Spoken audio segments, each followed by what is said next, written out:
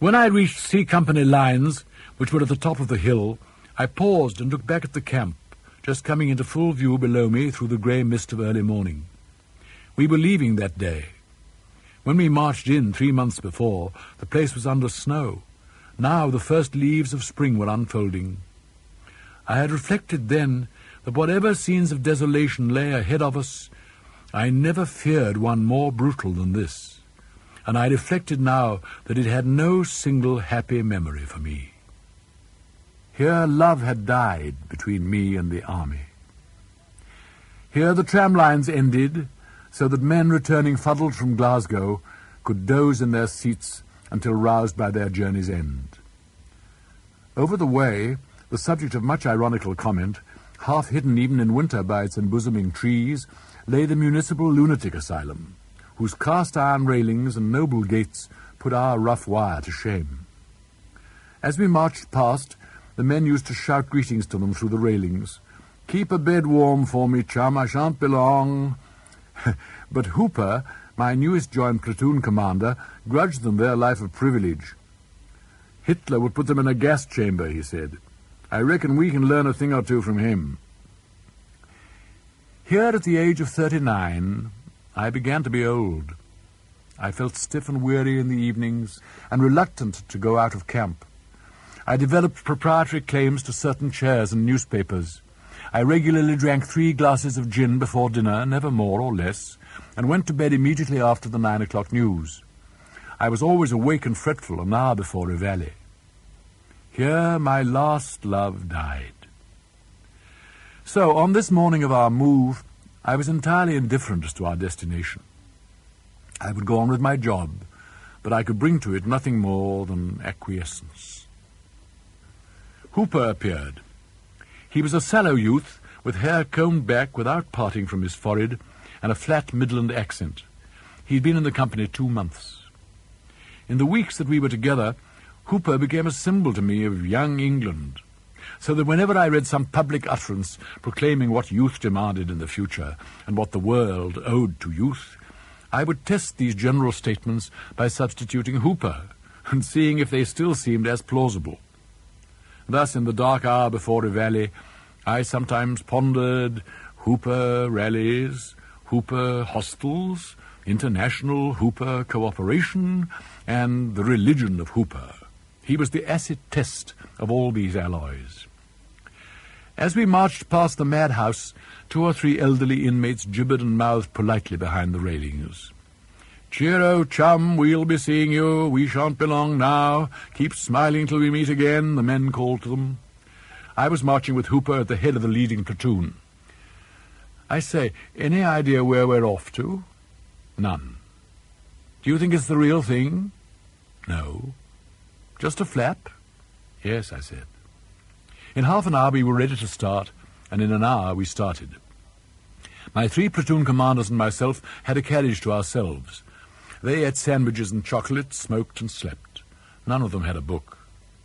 At last, very late, we came to our siding. Soon Hooper's platoon had marched off into the darkness. The company second in command came down with the first returning truck. It's not a bad camp, he reported. Big private house with two or three lakes. Looks as if we might get some duck if we're lucky. Village with one pub and a post office. No town within miles. I asked the second in command, What's this place called? He told me. And on the instant, it was as though someone had switched off the wireless, and a voice that had been bawling in my ears incessantly, fatuously, for days beyond number, had been suddenly cut short. For he had spoken a name that was so familiar to me, a conjurer's name of such ancient power, that at its mere sound the phantoms of those haunted late years began to take flight. It was a sequestered place, enclosed and embraced in a single winding valley. Our camp lay along one gentle slope. Opposite us, the ground led, still unravished, to the neighbourly horizon, and between us flowed a stream. It was named the Bride, and rose not two miles away at a farm called Bride Springs, where we used sometimes to walk to tea. It became a considerable river lower down before it joined the Avon, which had been dammed here to form three lakes, one no more than a wet slate among the reeds, but the others more spacious, reflecting the clouds and the mighty beeches at their margin. The woods were all of oak and beech, the oak grey and bare, the beech faintly dusted with green by the breaking buds. They made a simple, carefully designed pattern with the green glades and the wide green spaces.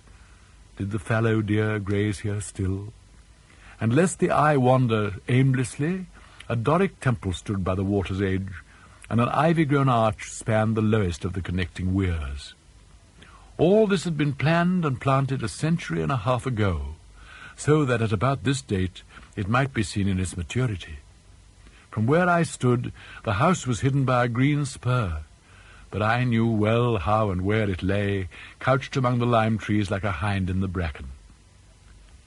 Hooper came sidling up and greeted me with his much imitated but inimitable salute. The house is up there round the corner. Brigade headquarters are coming there next week. Great barrack of a place. I've just had a snoop round. Very ornate, I'd call it. And a queer thing, there's a sort of R.C. church attached. I looked in, and there was a kind of service going on. Just a padre and one old man. I felt very awkward, more in your line than mine. Perhaps I seemed not to hear. In a final effort to excite my interest, he said, There's a frightful great fountain, too, in front of the steps, all rocks and sort of carved animals. You never saw such a thing. Yes, Hooper, I did. I've been here before. The words seemed to ring back to me enriched from the vaults of my dungeon. Oh, well, you know all about it. I'll go and get cleaned up. I had been there before. I knew all about it. I have been here before, I said. I had been there before. First with Sebastian, more than twenty years ago on a cloudless day in June, when the ditches were creamy with meadow sweet and the air heavy with all the scents of summer. It was a day of peculiar splendor, and though I had been there so often, in so many moods, it was to that first visit that my heart returned on this, my latest. That day, too, I had come not knowing my destination. It was Eights Week.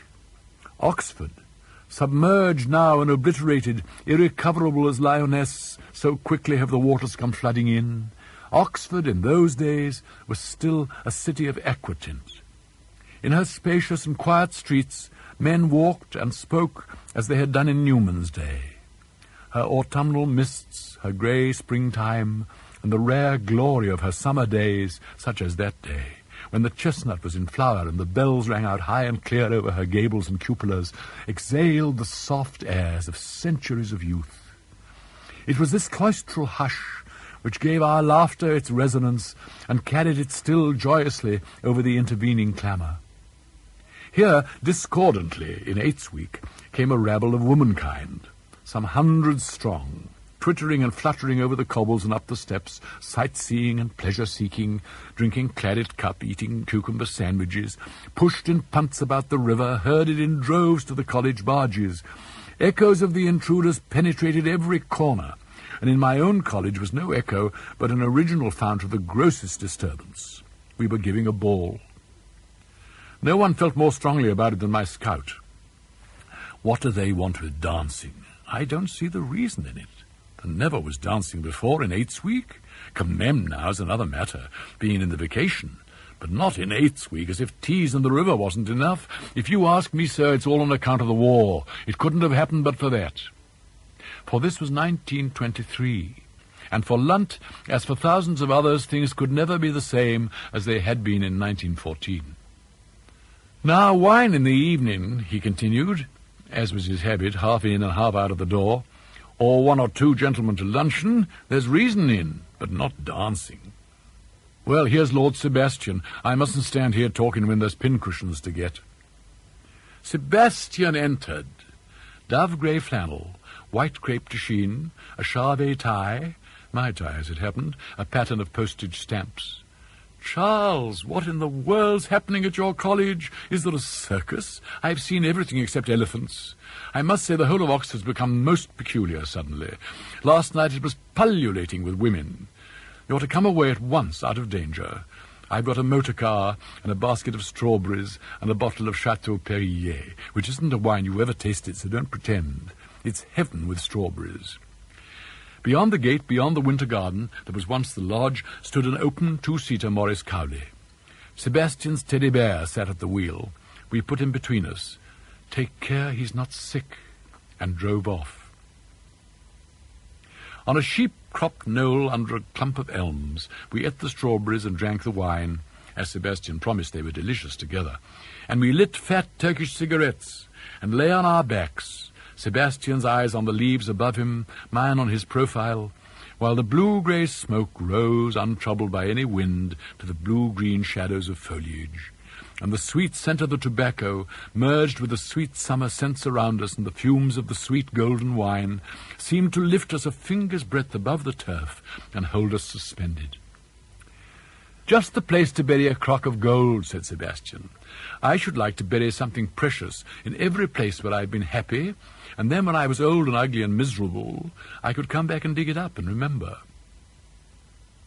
This was my third term since matriculation, but I date my Oxford life from my first meeting with Sebastian, which had happened by chance in the middle of the term before.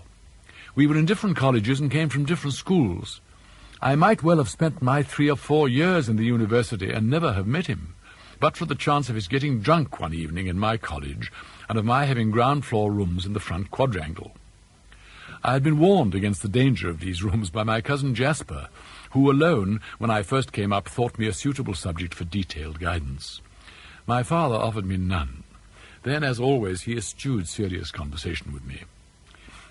I knew Sebastian by sight long before I met him.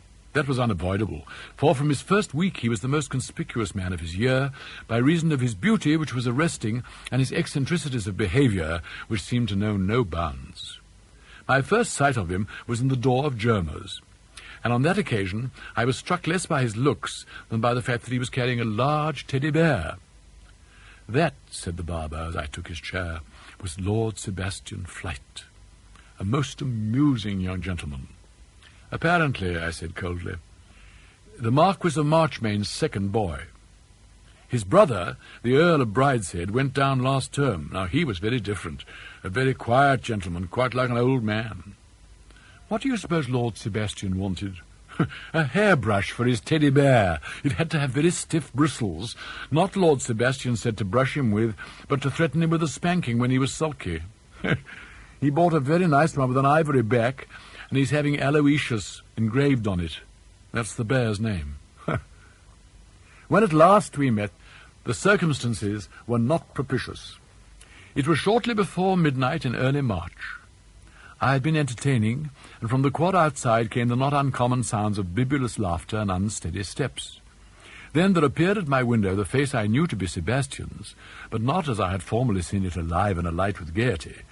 He looked at me for a moment with unfocused eyes, and then, leaning forward well into the room, he was sick. The next morning a note was left for me. I am very contrite.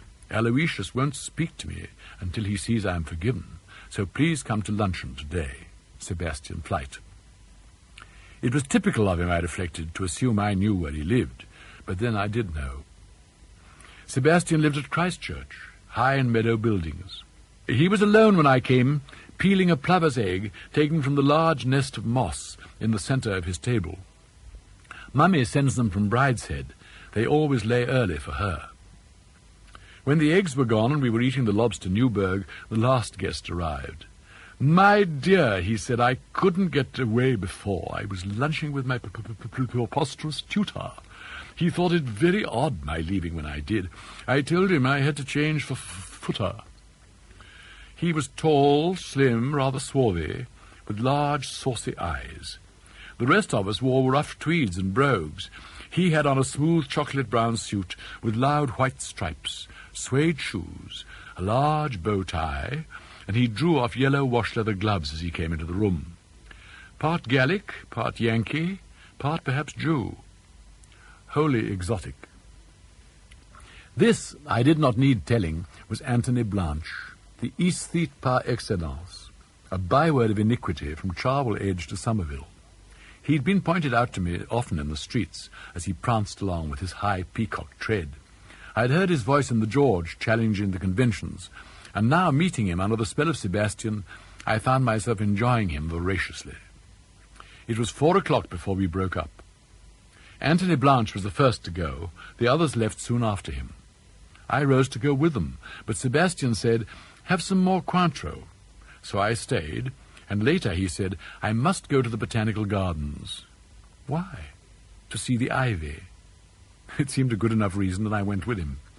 He took my arm as we walked under the walls of Merton.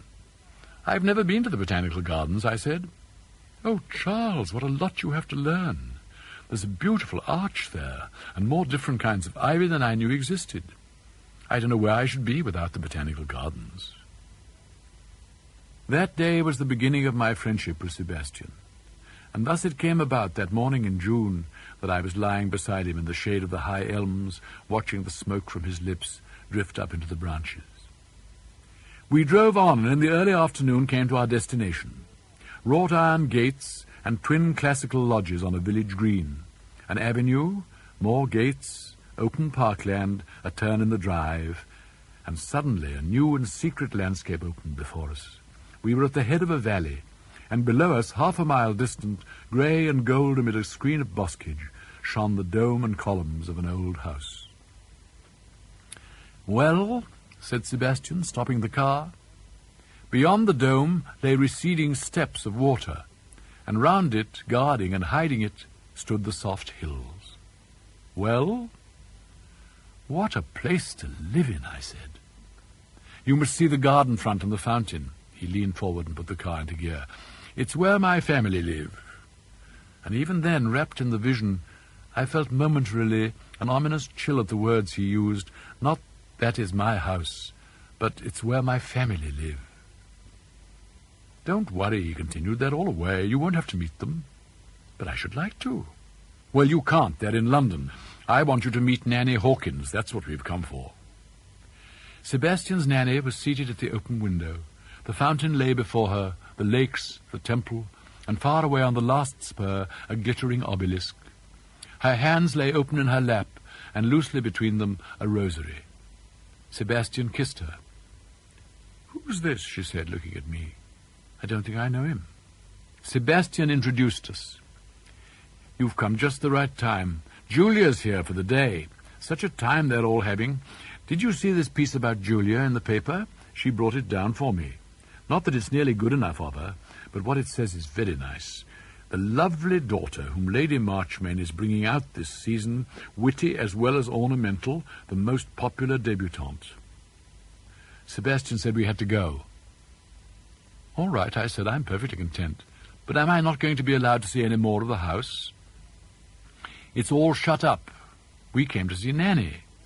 On Queen Alexandra's Day, it's all open for a shilling. Well, come and look if you want to. His mood had changed since we had drunk our wine under the elm trees, since we had turned the corner of the drive and he had said, Well? You see, there's nothing to see. A few pretty things I'd like to show you one day, not now. But there's the chapel. You must see that. It's a monument of Art Nouveau. The last architect to work at Brideshead had added a colonnade and flanking pavilions. One of these was the chapel. We entered it by the public porch. Another door led direct to the house. Sebastian dipped his fingers in the water stoop, crossed himself, and genuflected. I copied him. Why do you do that? he asked crossly. Just good manners. Well, you needn't on my account. You wanted to do sightseeing. How about this? the whole interior had been gutted, elaborately refurnished, and redecorated in the arts and crafts style of the last decade of the nineteenth century. Golly, I said. It was Papa's wedding present to Mamma. Now, if you've seen enough, we'll go. On the drive, we passed a closed Rolls-Royce driven by a chauffeur. In the back was a vague girlish figure who looked round at us through the window. Julia, said Sebastian. We only just got away in time. The further we drove from Brideshead, the more he seemed to cast off his uneasiness, the almost furtive restlessness and irritability that had possessed him. The sun was behind us as we drove, so that we seemed to be in pursuit of our own shadows. That is the full account of my first brief visit to Brideshead. Could I have known then that it would one day be remembered with tears by a middle-aged captain of infantry? Towards the end of that summer term, I received the last visit and grand remonstrance of my cousin Jasper. This was to be no cosy chat. He stood with his back to the fireplace and, in his own phrase, talked to me like an uncle. I expected you to make mistakes your first year, but you, my dear Charles, whether you realize it or not, have gone straight, hook, line, and sinker into the very worst set in the university. There's that chap Sebastian Flyte you seem inseparable from. He may be all right, I don't know. His brother Brideshead was a very sound fellow. But this friend of yours looks odd to me, and he gets himself talked about. Of course, they're an odd family. The Marchmains have lived apart since the war, you know. An extraordinary thing. Everyone thought they were a devoted couple. Then he went off to France with his yeomanry and just never came back. It was as if he'd been killed. She's a Roman Catholic, so she can't get a divorce. Or won't, I expect. Flyte may be all right, but Anthony Blanche, now there's a man there's absolutely no excuse for. I don't particularly like him myself, I said. And drink. No one minds a man getting tight once or twice a term. In fact, he ought to on certain occasions. But I hear you're constantly seen drunk in the middle of the afternoon. I'm sorry, Jasper, I said. I know it must be embarrassing for you, but I happen to like this bad set. I like getting drunk at luncheon, and though I haven't yet spent quite double my allowance, I undoubtedly shall before the end of term. I usually have a glass of champagne about this time. Will you join me? On the day after Jasper's grand remonstrance, I received another, in different terms and from an unexpected source.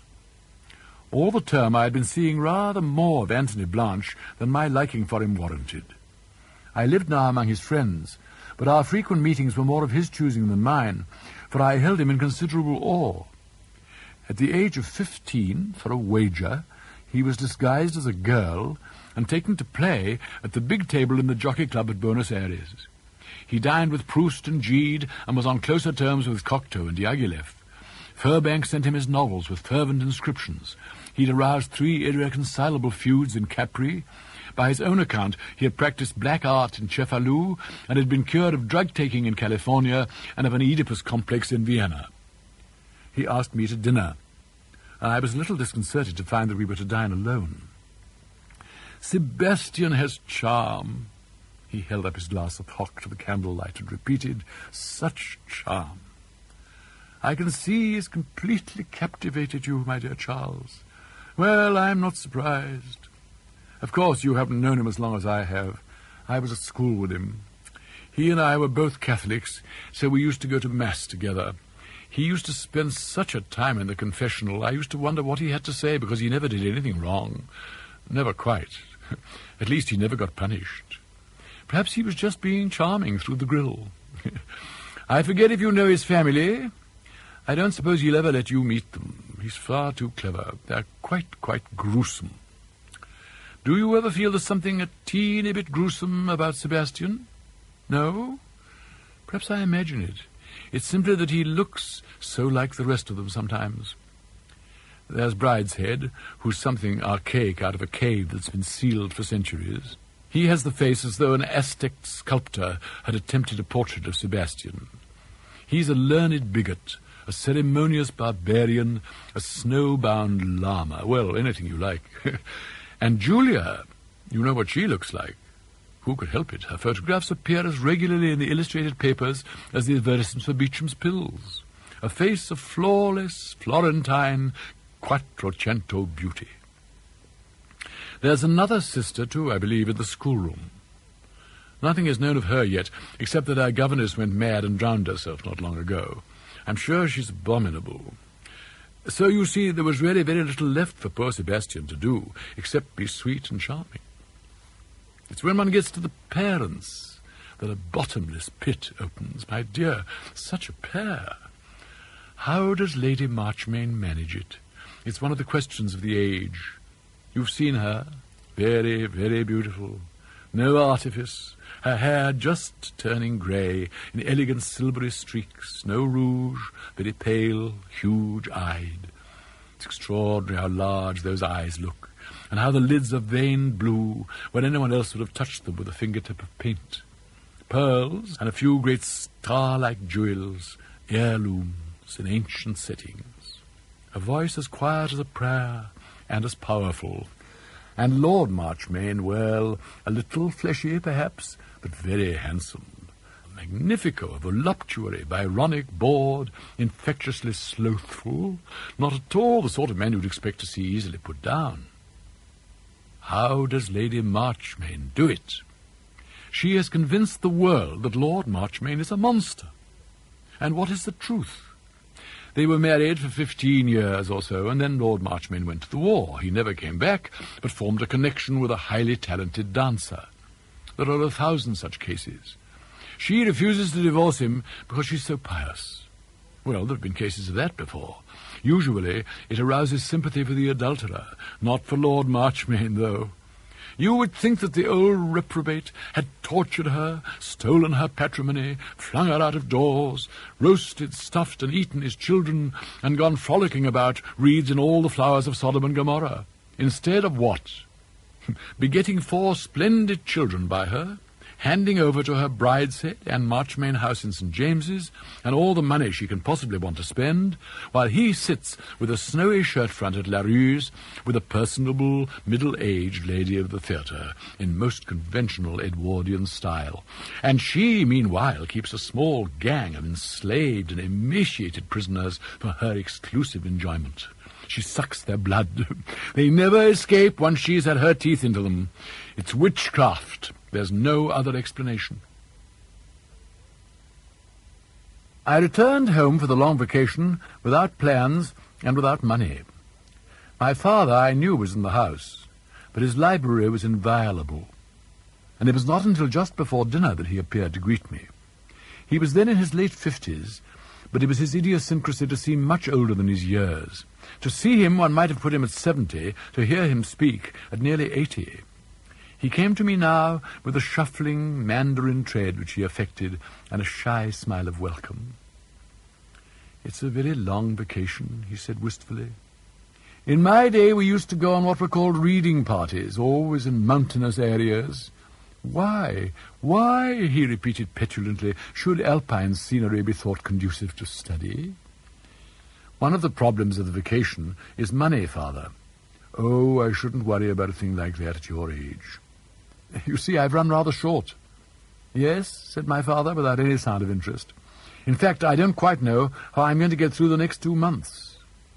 Well, I'm the worst person to come to for advice. I've never been short, as you so painfully call it. And yet what else could you say? Hard up, penurious, distressed, embarrassed, stony broke, snuffle, on the rocks, in Queer Street. Let's say you're in Queer Street and leave it at that. During the sultry week that followed, my relations with my father deteriorated sharply. The dinner table was our battlefield. On the second evening I took my book with me to the dining room. His mild and wandering eye fastened on it with sudden attention, and as we passed through the hall, he surreptitiously left his own on a side table.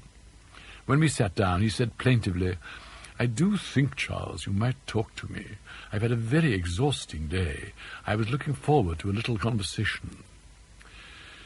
Dinner that evening consisted of a white, tasteless soup, over-fried fillets of sole with a pink sauce, lamb cutlets propped against a cone of mashed potato, stewed pears in jelly standing on a kind of sponge cake. It is purely out of respect for your Aunt Philippa that I dined at this length. She laid it down that a three-course dinner was middle class. It is odd to think that she and I once dined together nightly, just as you and I do, my boy. Now she made unremitting efforts to take me out of myself. She thought I should get into funny ways if I was left on my own. Perhaps I have got into funny ways. Have I? But it didn't do. I got her out in the end. There was an unmistakable note of menace in his voice as he said this. I got her out in the end, he said, with derision and triumph of that kindly lady, and he knew that I heard in the words a challenge to myself. Next day, by chance, a weapon came to hand. I met an old acquaintance of school days, a contemporary of mine named Jorkins. I never had much liking for Jorkins. Once in my Aunt Philippa's day he'd come to tea, and she had condemned him as being probably charming at heart, but unattractive at first sight. Now I greeted him with enthusiasm and asked him to dinner. He came and showed little alteration. My father must have been warned by Hayter that there was a guest, for instead of his velvet suit, he wore a tail coat. This, with a black waistcoat, very high collar, and very narrow white tie, was his evening dress. He wore it with an air of melancholy, as though it were court mourning which he had assumed in early youth, and finding the style sympathetic, had retained. He never possessed a dinner jacket. Good evening, good evening. So nice of you to come all this way. Oh, it wasn't far, said Jorkins, who lived in Sussex Square. Science annihilates distance, said my father disconcertingly. You are over here on business? Well, I'm in business, if that's what you mean. I had a cousin who was in business. You wouldn't know him. It was before your time. I was telling Charles about him only the other night. He's been much in my mind. He came, my father paused to give full weight to the bizarre word, a cropper. Jorkins giggled nervously. My father fixed him with a look of reproach. You find his misfortune the subject of mirth? Or perhaps the word I used was unfamiliar. You no doubt would say that he folded up. My father was master of the situation. He had made a little fantasy for himself that Jorkins should be an American, and throughout the evening he played a delicate one-sided parlour game with him, explaining any peculiarly English terms that occurred in the conversation, translating pounds into dollars, and courteously deferring to him with such phrases as, of course, by your standards, all this must seem very parochial to Mr. Jorkins, in the vast spaces to which you were accustomed, so that my guest was left with a vague sense that there was a misconception somewhere as to his identity, which he never got the chance of explaining. Again and again during dinner he sought my father's eye, thinking to read there the simple statement that this form of address was an elaborate joke, but met instead a look of such mild benignity that he was left baffled. Once I thought my father had gone too far when he said, I'm afraid that living in London you must sadly miss your national game. My national game? asked Jorkins, slow in the uptake, but scenting that here at last was the opportunity for clearing the matter up. My father glanced from him to me, and his expression changed from kindness to malice, then back to kindness again as he turned once more to Jorkins. It was the look of a gambler who lays down fours against a full house. Your national game, he said gently. Cricket. And he snuffled uncontrollably, shaking all over and wiping his eyes with his napkin. Surely, working in the city, you find your time on the cricket field greatly curtailed. At the door of the dining room he left us. Good night, Mr. Jorkins, he said. I hope you will pay us another visit when you next cross the herring pond. I say, what did your governor mean by that? He seemed almost to think I was American. He's rather odd at times. I mean all that about advising me to visit Westminster Abbey. It seemed rum. Yes, I can't quite explain. I almost thought he was pulling my leg, said Jorkins in puzzled tones. One Sunday afternoon a telegram came from Sebastian. My father was out, and returned to find me in a condition of feverish anxiety. I showed him the telegram, which read simply, Gravely injured. Come at once, Sebastian. Well, said my father, I'm sorry you're upset. Reading this message, I should not say that the accident was as serious as you seem to think. Otherwise it would hardly be signed by the victim himself. Still, of course, he may well be fully conscious, but blind, or paralyzed, with a broken back. Why exactly is your presence so necessary? You have no medical knowledge, you are not in holy orders. Do you hope for a legacy? I told you he's a great friend. Well, Orme-Herrick is a great friend of mine, but I should not go tearing off to his deathbed on a warm Sunday afternoon. I should doubt whether Lady Orme-Herrick would welcome me. However, I see you have no such doubts. I shall miss you, my dear boy, but do not hurry back on my account. Paddington Station on that August Sunday evening, with the sun streaming through the obscure panes of its roof, the bookstall shut, and the few passengers strolling unhurried beside their porters, would have soothed a mind less agitated than mine. The train was nearly empty. I dined and changed trains to the local line, and in twilight came to Melstead Carbury, which was my destination. Brideshead, sir, yes, Lady Julia's in the yard. She was sitting at the wheel of an open car. I recognized her at once. I could not have failed to do so. You're Mr. Ryder. Jump in. Her voice was Sebastian's, and his her way of speaking. How is he? Sebastian, oh, he's fine. Have you had dinner? Well, I expect it was beastly. There's some more at home. Sebastian and I are alone, so we thought we'd wait for you. What's happened to him? Didn't he say? I expect he thought you wouldn't come if you knew. He's cracked a bone in his ankle, so small that it hasn't a name. But they x-rayed it yesterday and told him to keep it up for a month. I must say it's noble of you to come all this way at a moment's notice. But as she said it, I heard, or thought I heard, a tiny note of contempt in her voice that I should be so readily available. How did he do it? Believe it or not, playing croquet, he lost his temper and tripped over a hoop. Not a very honourable scar. She so much resembled Sebastian that sitting beside her in the gathering dusk, I was confused by the double illusion of familiarity and strangeness. Because her sex was the palpable difference between the familiar and the strange, it seemed to fill the space between us so that I felt her to be especially female, as I had felt of no woman before. Here we are.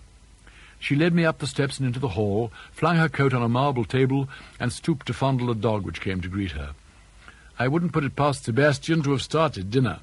At that moment he appeared between the pillars at the further end, propelling himself in a wheeled chair. He was in pyjamas and dressing gown, with one foot heavily bandaged. Well, darling, I've collected your chum, she said, again with a barely perceptible note of contempt. Good night, Mr. Ryder, and goodbye. I don't suppose we'll meet tomorrow. I'm leaving early. I can't tell you how grateful I am to you for relieving me at the sick bed. My sister's very pompous tonight, said Sebastian when she'd gone. I don't think she cares for me, I said. I don't think she cares for anyone much. I love her. She's so like me. Do you? Is she? In looks, I mean, and the way she talks. I wouldn't love anyone with a character like mine. When we drank our port, I walked beside Sebastian's chair through the pillared hall to the library, where we sat that night and nearly every night of the ensuing month. It lay on the side of the house that overlooked the lakes. The windows were open to the stars and the scented air, to the indigo and silver moonlit landscape of the valley, and the sound of water falling in the fountain. We'll have a heavenly time alone, said Sebastian.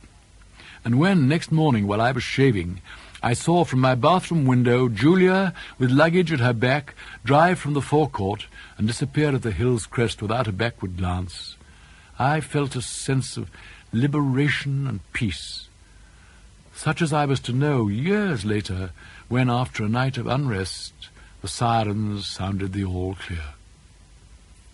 The languor of youth, how unique and quintessential it is, how quickly, how irrecoverably lost, the zest, the generous affections, the illusions, the despair, all the traditional attributes of youth, all save this come and go with us through life. These things are a part of life itself. But languor, the relaxation of yet unwearied sinews, the mind sequestered and self-regarding, that belongs to youth alone and dies with it. Perhaps in the mansions of limbo the heroes enjoy some such compensation for their loss of the beatific vision. Perhaps the beatific vision itself has some remote kinship with this lowly experience. I, at any rate, believed myself very near heaven during those languid days at Brideshead. If it was mine, I'd never live anywhere else, I said to Sebastian. But you see, Charles, it isn't mine. Just at the moment it is, but usually it's full of ravening beasts. If it could only be like this always, always summer, always alone, the fruit always ripe, and Aloysius in a good temper.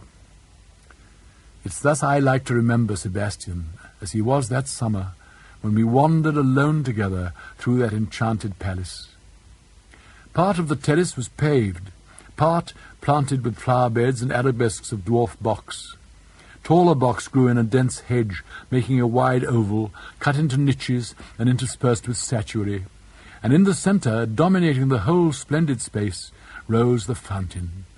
Such a fountain as one might expect to find in a piazza of southern Italy, such a fountain as was indeed found there a century ago by one of Sebastian's ancestors, found, purchased, imported, and re-erected in an alien but welcoming climate.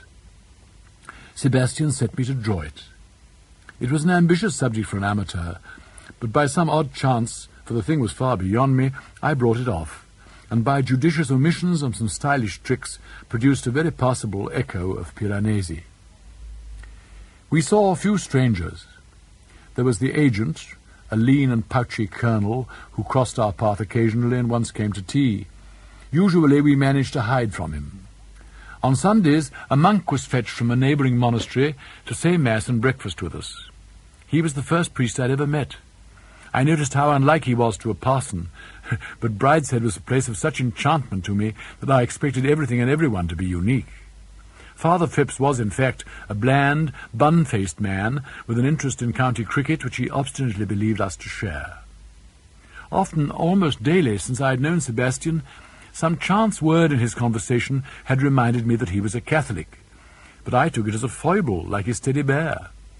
We never discussed the matter until on the second Sunday at Brideshead, when Father Phipps had left us and we sat in the colonnade with the papers, he surprised me by saying, Oh dear, it's very difficult being a Catholic. Does it make much difference to you? Of course, all the time. Well, I can't say I've noticed it. Are you struggling against temptation? You don't seem much more virtuous than me.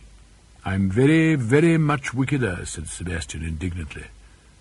Well then, who was it used to pray, Oh God, make me good, but not yet?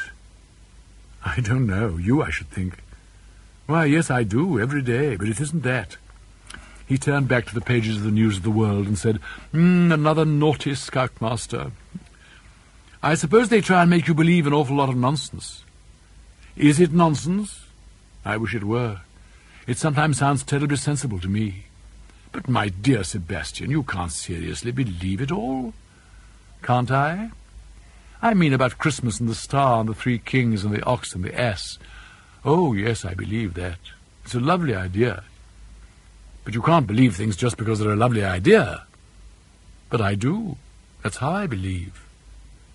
And in prayers, do you think you can kneel down in front of a statue and say a few words, not even out loud, just in your mind, and change the weather? Or that some saints are more influential than others, and you must get hold of the right one to help you on the right problem? Oh, yes.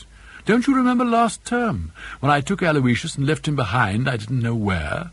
I prayed like mad to St. Anthony of Padua that morning, and immediately after lunch there was Mr. Nichols at Canterbury Gate with Aloysius in his arms, saying I'd left him in his cab.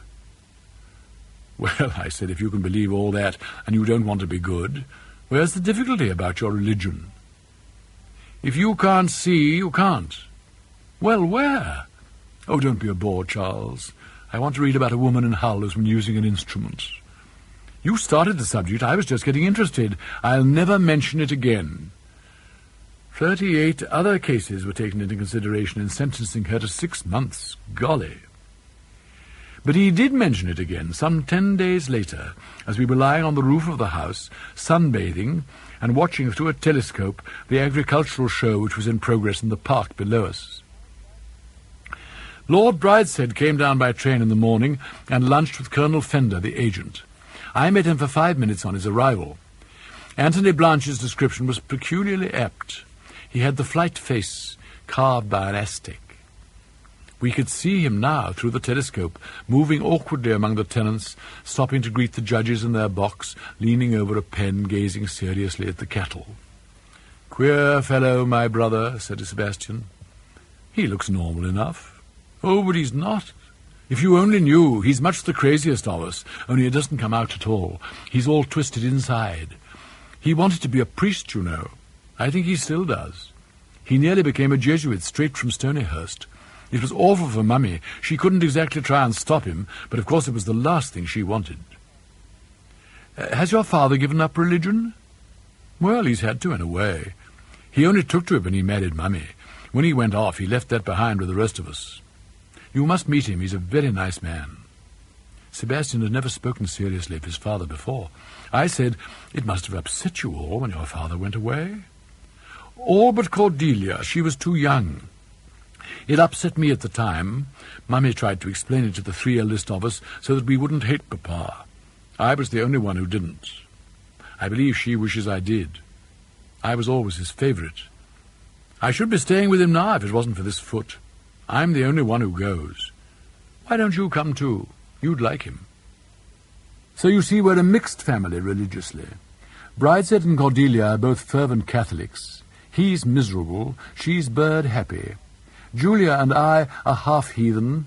I am happy. I rather think Julia isn't. Mummy is popularly believed to be a saint, and Papa is excommunicated, and I wouldn't know which of them was happy.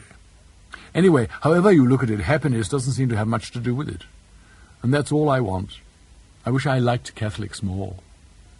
We were interrupted in this unusually grave conversation by loud childish cries from beyond the chimney stacks. Sebastian! Sebastian! Good heavens, said Sebastian, reaching for a blanket. That sounds like my sister Cordelia. Cover yourself up. Where are you? There came into view a robust child of ten or eleven. She had the unmistakable family characteristics, but had them ill arranged in a frank and chubby plainness. Two thick, old-fashioned pigtails hung down her back. Go away, Cordelia. We've got no clothes on. Why, you're quite decent. Darling Sebastian, I am pleased to see you again. How's your poor foot? Say how do you do to Mr. Ryder. Oh, oh, sorry, how do you do? All the family charm was in her smile. We were a sombre little party that evening. Only Cordelia was perfectly at ease, rejoicing in the food, the lateness of the hour, and her brother's company. Brideshead was three years older than Sebastian and I, but he seemed of another generation. He had the physical tricks of his family, and his smile, when it rarely came, was as lovely as theirs. He spoke in their voice with a gravity and restraint which in my cousin Jasper would have sounded pompous and false, but in him was plainly unassumed and unconscious.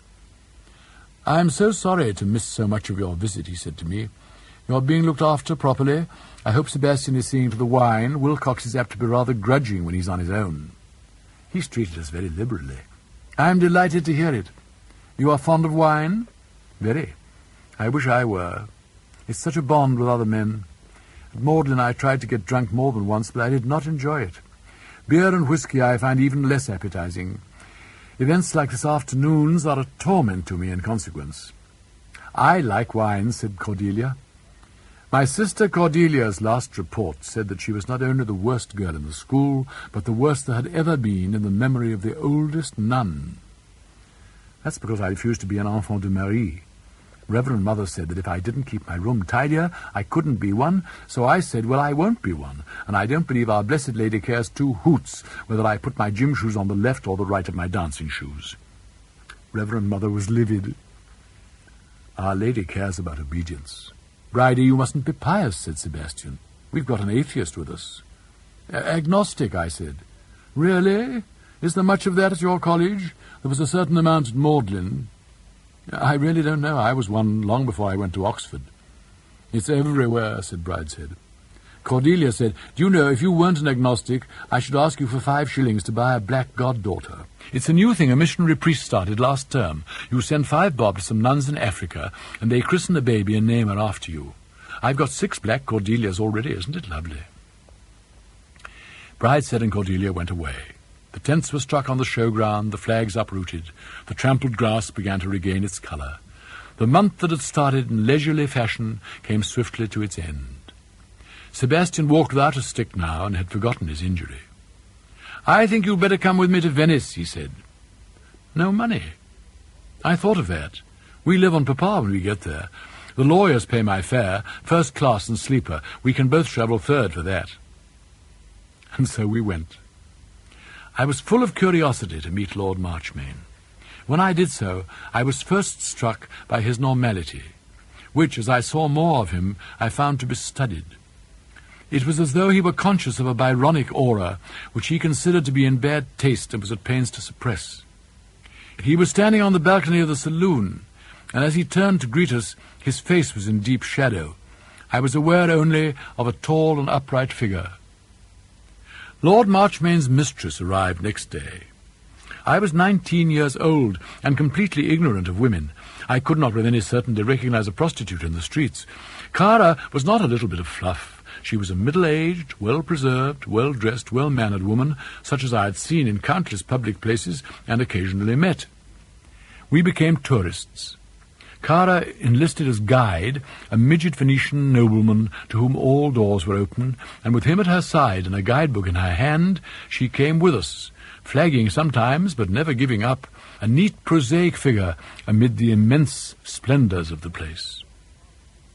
The fortnight at Venice passed quickly and sweetly, perhaps too sweetly. I was drowning in honey, stingless. I remember most particularly one conversation towards the end of my visit. Sebastian had gone to play tennis with his father, and Cara at last admitted to fatigue. We sat in the late afternoon at the windows overlooking the Grand Canal, she on the sofa with a piece of needlework, I in an armchair, idle. It was the first time we'd been alone together. I think you are very fond of Sebastian, she said. Why, certainly. I know of these romantic friendships of the English and the Germans. They are not Latin. I think they are very good if they do not go on too long. Sebastian is in love with his own childhood. That will make him very unhappy. His teddy bear, his nanny, and he is nineteen years old.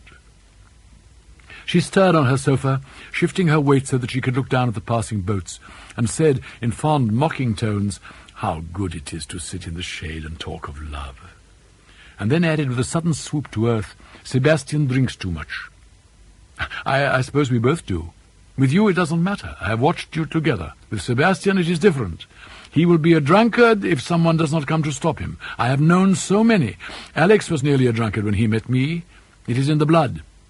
I see it in the way Sebastian drinks. It is not your way. Everywhere, on cobble and gravel and lawn, the leaves were falling, and in the college gardens the smoke of the bonfires joined the wet river mist drifting across the grey walls. The flags were oily underfoot, and as one by one the lamps were lit in the windows round the quad, the golden lights were diffuse and remote. New figures in new gowns wandered through the twilight under the arches, and the familiar bells now spoke of a year's memories. It is typical of Oxford, I said, to start the new year in autumn. The autumnal mood possessed us both, as though the riotous exuberance of June had died with the gilliflowers, whose scent at my windows now yielded to the damp leaves smouldering in a corner of the quad. It was the first Sunday evening of term. I feel precisely one hundred years old, said Sebastian. There was a change in both of us. We'd lost the sense of discovery which had infused the anarchy of our first year. I began to settle down. With Sebastian it was different. His year of anarchy had filled a deep interior need of his, the escape from reality. And as he found himself increasingly hemmed in where he once felt himself free, he became at times listless and morose even with me. It was thus that Lady Marchmain found us, when early in that Michaelmas term she came for a week to Oxford. She found Sebastian subdued, with all his hosts of friends reduced to one, myself. She accepted me as Sebastian's friend and sought to make me hers also, and in doing so unwittingly struck at the roots of our friendship. That is the single reproach I have to set against her abundant kindness to me. Her business at Oxford was with Mr. Samgrass of All Souls, who now began to play an increasingly large part in our lives.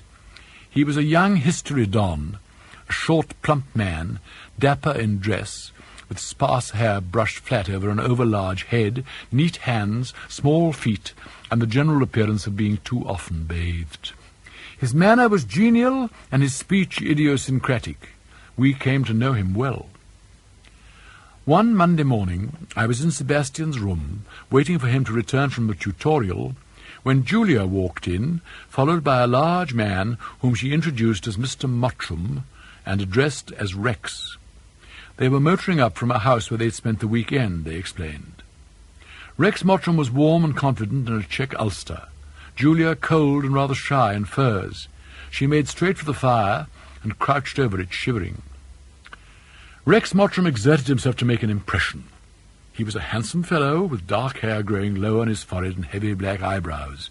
He spoke with an engaging Canadian accent.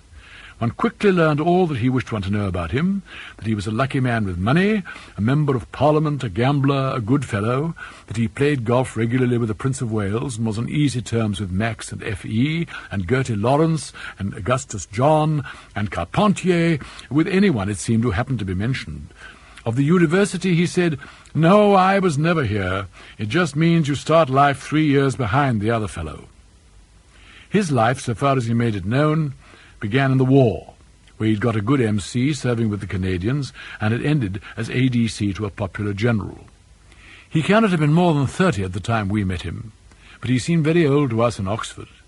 Julia treated him as she seemed to treat all the world, with mild disdain, but with an air of possession. It did not surprise me, when I arrived at Brideshead after Christmas, to find Mr. Samgrass, as though in wait for me, sitting alone before the fire in the room they call the Tapestry Hall. Presently Lady Marchmain's party returned, and when, before we went upstairs to dress for dinner, she said, Who's coming to chapel for the rosary? and Sebastian and Julia said they must have their baths at once, Mr. Samgrass went with her and the friar. I wish Mr. Samgrass would go, said Sebastian in his bath. I'm sick of being grateful to him.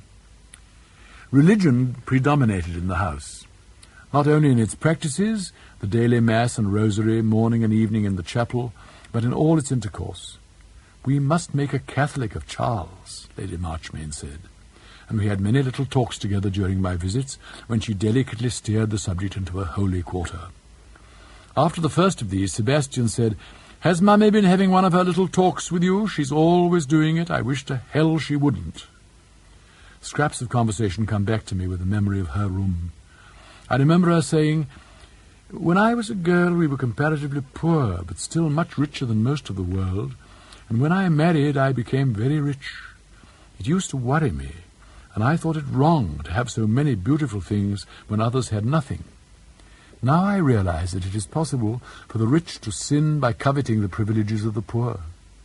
The poor have always been the favorites of God and his saints, but I believe that it is one of the special achievements of grace to sanctify the whole of life, riches included. But I was untouched by her faith as I was by her charm, or rather I was touched by both alike. I had no mind then for anything except Sebastian, and I saw him already as being threatened though I did not yet know how black was the threat. His constant despairing prayer was to be let alone. And since Sebastian counted among the intruders his own conscience and all claims of human affection, his days in Arcadia were numbered. For in this, to me, tranquil time, Sebastian took fright. I knew him well in that mood of alertness and suspicion, like a deer suddenly lifting his head at the far notes of the hunt. I had seen him grow weary at the thought of his family or his religion. Now I found I too was suspect. He did not fail in love, but he lost his joy of it, for I was no longer part of his solitude. As my intimacy with his family grew, I became part of the world which he sought to escape. I became one of the bonds which held him. That was the part for which his mother, in all our little talks, was seeking to fit me. Everything was left unsaid. It was only dimly and at rare moments that I suspected what was afoot. Outwardly, Mr. Samgrass was the only enemy. After a fortnight, Sebastian said, I can't stand Mr. Samgrass any more. Let's go to London. So he came to stay with me, and now began to use my home in preference to March's. My father liked him. I think your friend very amusing, he said. Ask him often. Then back at Oxford, we took up again the life that seemed to be shrinking in the cold air. The sadness that had been strong in Sebastian the term before gave place to a kind of sullenness, even towards me. He was sick at heart somewhere, I did not know how, and I grieved for him, unable to help. When he was gay now, it was usually because he was drunk, and when drunk he developed an obsession of mocking Mr. Samgrass. He composed a ditty, of which the refrain was, Green ass, Sam Grass, Sam Grass, green ass, uh, sung to the tune of St. Mary's chime, and he would thus serenade him, perhaps once a week, under his windows.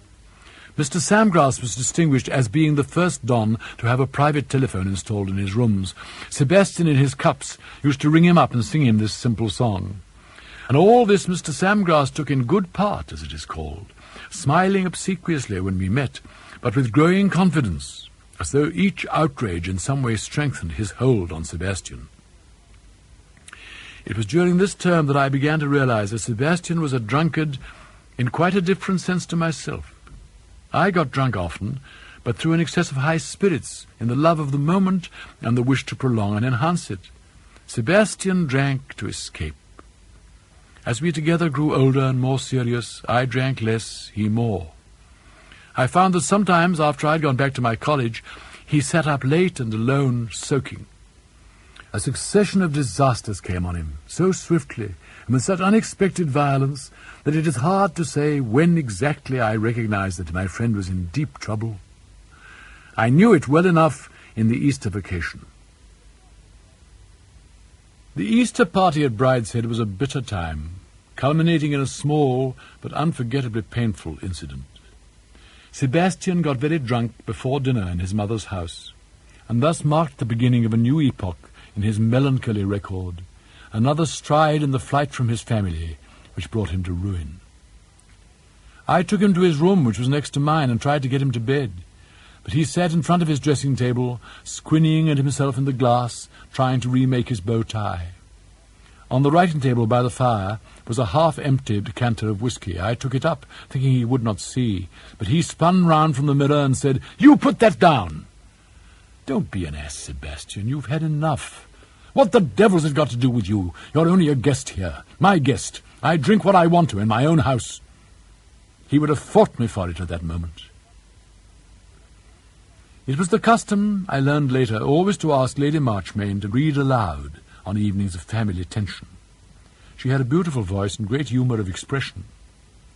That night she read part of The Wisdom of Father Brown.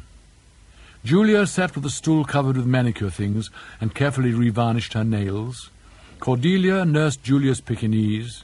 Brideshead played patience. I sat unoccupied, studying the pretty group they made and mourning my friend upstairs. Next day I sought Lady Marchmain. The wind had freshened and we stayed indoors. I sat near her before the fire in her room while she bent over her needlework and the budding creeper rattled on the window panes. I wish I had not seen him, she said. That was cruel. I do not mind the idea of his being drunk. It's a thing all men do when they're young. I'm used to the idea of it. My brothers were wild at his age. What hurt last night was that there was nothing happy about him. It was impossible for me to explain to her what I only half understood myself. Even then I felt she will learn it soon enough. Perhaps she knows it now. I did not see Julia that morning, but just as I was leaving, Cordelia ran to the door of the car and said, Will you be seeing Sebastian? Please give him my special love. Will you remember? My special love. Then I reached Paddington, and returning home, found Sebastian there, and the sense of tragedy vanished for he was gay and free as when I first met him. Cordelia sent you her special love. Did you have a little talk with Mummy? Yes. Have you gone over to her side? The day before I would have said, there aren't two sides. That day I said, no, I'm with you. Sebastian contra mundum. And that was all the conversation we had on the subject then or ever. But the shadows were closing round Sebastian, we returned to Oxford, and once again the gilliflowers bloomed under my windows, and the chestnut lit the streets, and the warm stones strewed their flakes upon the cobble. But it was not as it had been. There was midwinter in Sebastian's heart. The weeks went by, and then one night Sebastian had another disaster. He was found by the junior dean at one o'clock, wandering round Tom Quad, hopelessly drunk. I had left him morose but completely sober at a few minutes before twelve. In the succeeding hour he had drunk half a bottle of whisky alone. He did not remember much about it when he came to tell me next morning. Have you been doing that a lot? I asked. Drinking by yourself after I've gone? Oh, about twice, perhaps four times. It's only when they start bothering me. I'd be all right if they'd only leave me alone. They won't now, I said. I know, there's a plot on. Mummy wants me to go and live with Monsignor Bell. Why didn't you tell me about it? Because I'm not going to live with Monsignor Bell. Well, what do you propose to do? I shan't do anything. They'll do it all. And I let him go without comfort. Then the machinery began to move. Mr. Samgrass and Monsignor Bell saw the Dean of Christ Church. Brideshead came up for a night. The heavy wheels stirred and the small wheels spun. Everyone was exceedingly sorry for Lady Marchmain, whose brother's name stood in letters of gold on the war memorial, whose brother's memory was fresh in many breasts. Sebastian was in my rooms waiting for me. I'm going to cable to Papa, he said. He won't let them force me into this priest's house. I told her it wouldn't do, I said. Shall we get really drunk tonight? It's the one time it could do no conceivable harm, I said. Contra mundum? Contramundum. Bless you, Charles. There aren't many evenings left to us. And that night, the first time for many weeks, we got deliriously drunk together. I saw him to the gate as all the bells were striking midnight, and reeled back to my rooms under a starry heaven which swam dizzily among the towers, and fell asleep in my clothes as I had not done for a year. Next day Lady Marchmain left Oxford, taking Sebastian with her. Brideshead and I went to his rooms to sort out what he would have sent on and what leave behind. Brideshead was as grave and impersonal as ever. It's a pity Sebastian doesn't know Monsignor Bell better, he said. He'd find him a charming man to live with. I was there my last year. But my mother believes Sebastian is a confirmed drunkard. Is he? He's in danger of becoming one. I believe God prefers drunkards to a lot of respectable people. For God's sake, I said, for I was near to tears that morning, why bring God into everything? I'm sorry, I forgot. But you know that's an extremely funny question. Is it? To me, not to you. No, not to me. It seems to me that without your religion, Sebastian would have the chance to be a happy and healthy man. It's arguable, said Brideshead. There was only ten days of term to go.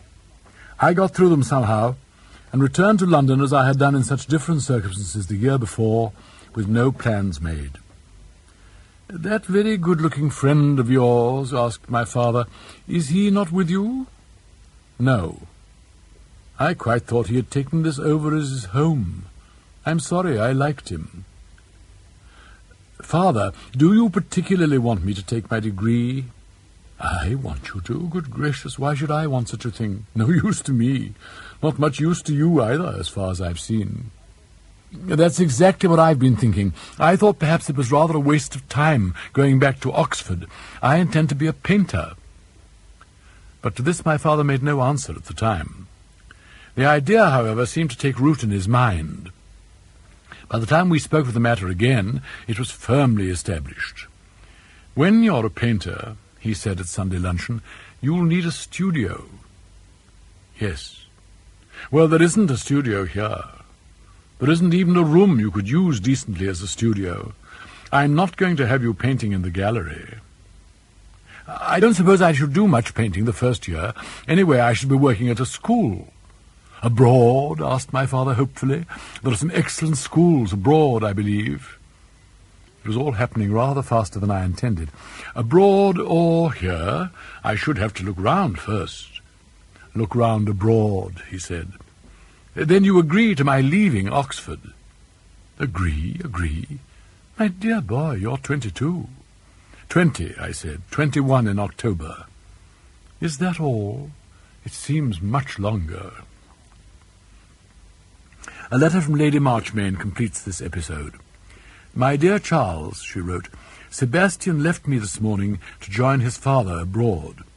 The college has sent Sebastian down for a term only, and will take him back after Christmas on condition he goes to live with Monsignor Bell. It is for him to decide. Meanwhile, Mr. Samgrass has very kindly consented to take charge of him. As soon as his visit to his father is over, Mr. Samgrass will pick him up, and they will go together to the Levant, where Mr. Samgrass has long been anxious to investigate a number of Orthodox monasteries. He hopes this may be a new interest for Sebastian. Sebastian's stay here has not been happy. When they come home at Christmas, I know Sebastian will want to see you, and so shall we all. I hope your arrangements for next term have not been too much upset, and that everything will go well with you. Yours sincerely, Teresa Marchmain. Three weeks before Christmas, Lady Marchmain wrote again. I have just heard from Mr. Samgrass that he and Sebastian will be home for Christmas as we hoped. I had not heard from them for so long that I was afraid they were lost, and did not want to make any arrangements until I knew. Sebastian will be longing to see you. Do come to us for Christmas if you can manage it, or as soon after as you can. Tea had been cleared away and the curtains drawn. It was two days after Christmas, the first evening of my visit, the first also of Sebastian's and Mr. Samgrass's. Mr. Samgrass was not at ease. He maintained all the physical habits of self-confidence, but guilt hung about him like stale cigar smoke. He kept up a lively account of his tour during tea, and then Lady Marchmain drew him away with her upstairs for a little talk. It was half past seven. I supposed the others had gone to dress, but as I was going to follow them, I met Brideshead coming down. Just a moment, Charles. There's something I've got to explain. My mother has given orders that no drinks are to be left in any of the rooms. You'll understand why. If you want anything, ring and ask Wilcox. Only better wait until you're alone. I'm sorry, but there it is. Is that necessary? I gather very necessary. You may or may not have heard Sebastian had another outbreak as soon as he got back to England. He was lost over Christmas. Mr. Samgrass only found him yesterday evening. I guess something of the kind had happened. Are you sure this is the best way of dealing with it? It's my mother's way. It was an evening of peculiar gloom. We dined in the painted parlour, and that evening we had no inclination to delay. Our glasses were filled with port, and the decanter was at once taken from the room. We drank quickly, and went to the drawing-room, where Brideshead asked his mother to read, and she read the diary of a nobody with great spirit until ten o'clock, when she closed the book and said she was unaccountably tired, so tired that she would not visit the chapel that night. Who's hunting tomorrow? she asked. Cordelia, said Brideshead. I'm taking that young horse of Julia's just to show him the hounds. I shan't keep him out more than a couple of hours. Rex is arriving sometime, said Julia. I'd better stay in to greet him. Where's the meet? said Sebastian suddenly. Just here at Flyte St. Mary. Then I'd like to hunt, please, if there's anything for me. Sebastian got straight to bed. I sat by his fire and smoked a pipe. I said, I rather wish I was coming out with you tomorrow. Well, he said, you wouldn't see much sport. I can tell you exactly what I'm going to do. I shall leave Bridie at the first covert, hack over to the nearest good pub, and spend the entire day quietly soaking in the bar parlour. If they treat me like a dipsomaniac, they can bloody well have a dipsomaniac. I hate hunting anyway. Well, I can't stop you. You can, as a matter of fact, by not giving me any money. They stopped my banking account, you know, in the summer. It's been one of my chief difficulties. I pawned my watch and cigarette case to ensure a happy Christmas, so I shall have to come to you for my day's expenses. I gave him a pound. More, he said. I gave him another. At luncheon, Julia had no thoughts except for her guest who was coming that day. She drove to the station to meet him and brought him home to tea. Mummy, do look at Rex's Christmas present. It was a small tortoise with Julia's initials set in diamonds in the living shell. Dear me, said Lady Marchmain, I wonder if it eats the same sort of things as an ordinary tortoise. What will you do when it's dead? asked Mr. Samgrass. Can you have another tortoise fitted into the shell? Rex had been told about the problem of Sebastian. He could scarcely have endured in that atmosphere without, and had a solution pat. He propounded it cheerfully and openly at tea, and after a day of whispering, it was a relief to hear the thing discussed. Send him to Borethus at Zurich. Borethus is the man. He works miracles every day at that sanatorium of his. He's booked up for months ahead, but I think he'd find room if I asked him. I could telephone him from here tonight. In his kindest moments, Rex displayed a kind of hectoring zeal, as if he were thrusting a vacuum cleaner on an unwilling housewife. Uh, we'll think about it. And we were thinking about it when Cordelia returned from hunting. Oh, Julia, what's that? How beastly! It's Rex's Christmas present. Oh, sorry, I'm always putting my foot in it, but, but how cruel. It must have hurt frightfully. They can't feel. How do you know? Bet they can. she kissed her mother, whom she'd not seen that day, shook hands with Rex, and rang for eggs. When Wilcox came to clear the tea, Lady Marchmain asked, No sign of Lord Sebastian? No, my lady. He must have stopped for tea with someone. How very unlike him. Half an hour later, when Wilcox brought in the cocktail tray, he said, Lord Sebastian has just rung up to be fetched from South Twining. South Twining? Who lives there? He was speaking from the hotel, my lady. South Twining, said Cordelia. Goodness, he did get lost. When he arrived, he was flushed, and his eyes were feverishly bright. I saw that he was two-thirds drunk. Dear boy, said Lady Marchmain, how nice to see you looking so well again. Your day in the open has done you good. The drinks are on the table. Do help yourself. There was nothing unusual in her speech, but the fact of her saying it. Six months ago it would not have been said. Thanks, said Sebastian. I will. Next morning I said to Sebastian, Tell me honestly, do you want me to stay on here? No, Charles, I don't believe I do. I'm no help, no help. So I went to make my excuses to his mother. There's something I must ask you, Charles. Did you give Sebastian money yesterday? Yes. Knowing how he was likely to spend it? Yes. I don't understand it, she said. I simply don't understand how anyone can be so callously wicked. I was unmoved. There was no part of me remotely touched by her distress. It was as I had often imagined being expelled from school. I almost expected to hear her say, I've already written to inform your unhappy father. But as I drove away and turned back in the car to take what promised to be my last view of the house, I felt that I was leaving part of myself behind, and that wherever I went afterwards, I should feel the lack of it and search for it hopelessly, as ghosts are said to do, frequenting the spots where they buried material treasures without which they cannot pay their way to the nether world. I shall never go back, I said to myself. The door had shut. The low door in the wall I had sought and found in Oxford. Open it now, and I should find no enchanted garden. I had come to the surface, into the light of common day and the fresh sea air, after long captivity in the sunless coral palaces and waving forests of the ocean bed.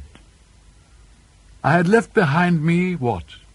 Youth, adolescence, romance, the conjuring stuff of these things, the young magician's compendium, that neat cabinet where the ebony wand had its place beside the delusive billiard balls, the penny that folded double, and the feather flowers that could be drawn into a hollow candle. I have left behind illusion, I said to myself.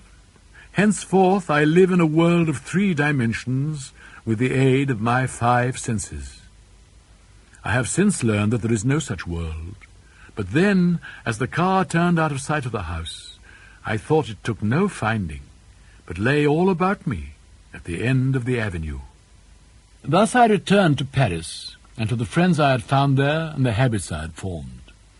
I thought I should hear no more of Brideshead, but life has few separations as sharp as that. It was not three weeks before I received a letter in Cordelia's Frenchified convent hand. Darling Charles, she said, I was so very miserable when you went. You might have come and said good-bye. I heard all about your disgrace, and I am writing to say that I am in disgrace too. I sneaked Wilcox's keys and got whisky for Sebastian and got caught. He did seem to want it so, and there was and is an awful row. Mr. Samgrass has gone. Good. And I think he's a bit in disgrace too, but I don't know why. Mr. Mottram is very popular with Julia, bad, and is taking Sebastian away, bad, bad, to a German doctor. Julia's tortoise disappeared. We think it buried itself as they do. So there goes a packet, expression of Mr. Mottram's. I am very well, with love from Cordelia. It must have been about a week after receiving this letter that I returned to my rooms in Paris one afternoon to find Rex waiting for me. Well, I said, well. I came this morning. They told me where you usually lunch, but I couldn't see you there. Have you got him? I didn't need to ask whom. So he's given you the slip, too. I had a run of luck at the Travellers and cleaned up a packet. Sebastian pinched the lot while I was asleep. All he left me was two first-class tickets to Zurich stuck in the edge of the looking-glass. I had nearly three hundred quid, blast him. And now he may be almost anywhere. Anywhere. You're not hiding him by any chance. No, my dealings with that family are over. I think mine are just beginning, said Rex. I say I've got a lot to talk about, and I promised the chap at the Travellers I'd give him his revenge this afternoon. Won't you dine with me? Yes, where? I usually go to Ciro's. Why not Paillard's? Never heard of it. I'm paying, you know. I know you are. Let me order dinner. Well, all right. What's the place again? I wrote it down for him. Is it the sort of place you see native life? Yes, you might call it that. Well, it'll be an experience. Order something good. That's my intention. If I had to spend an evening with him, it should at any rate be in my own way. I remember the dinner well.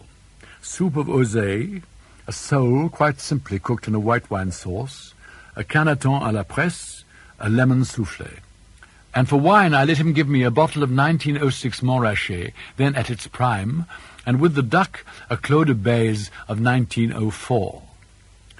At the last minute, fearing that the whole thing was too simple for Rex, I added caviar au blinis, the cream and hot butter mingled and overflowed, separating each glaucous bead of caviar from its fellows, capping it in white and gold.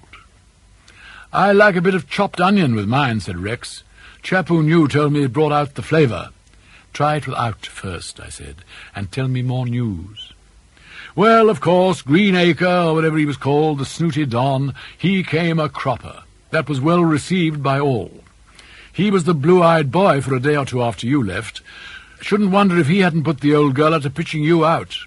He was always being pushed down our throats, so in the end Julia couldn't bear it any more and gave him away.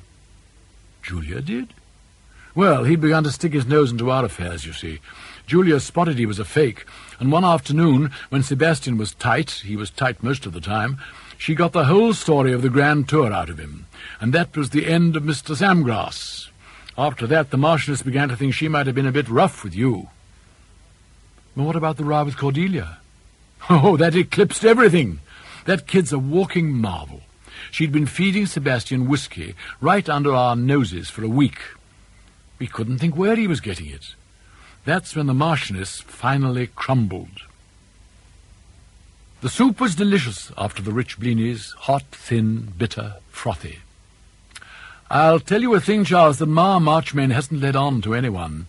She's a very sick woman might peg out any minute. The sole was so simple and unobtrusive that Rex failed to notice it.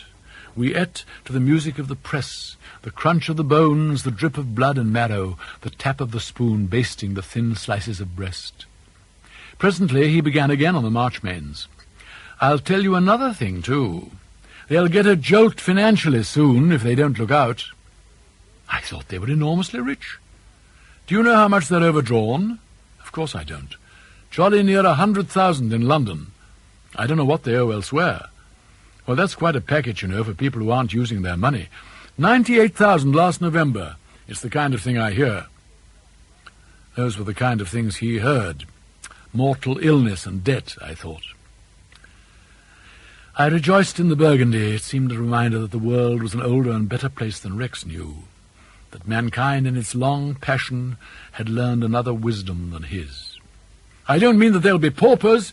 The old boy'll always be good for an odd thirty thousand a year.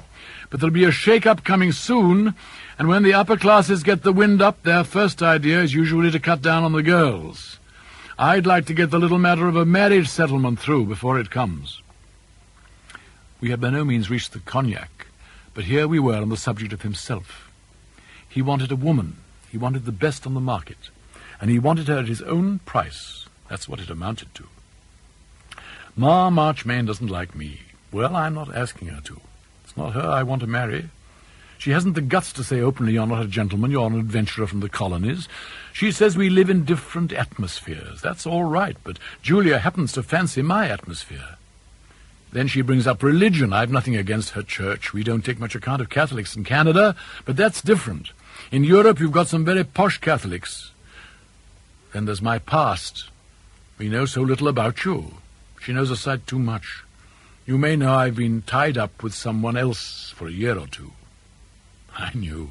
Everyone who had ever met Rex knew of his affair with Brenda Champion.